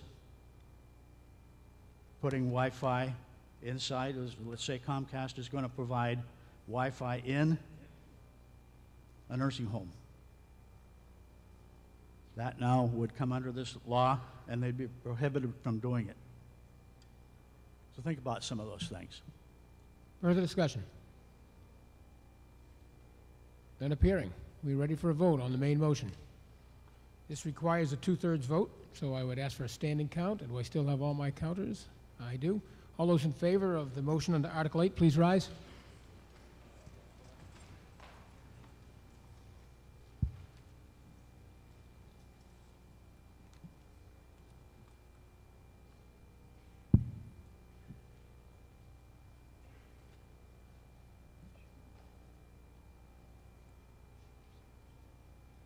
Twenty-nine. 29. Twenty-nine. Uh, tw- Did you say 29, Bill? Twenty-nine. 29, okay. 18. 18, Twenty-seven. 27. And those opposed?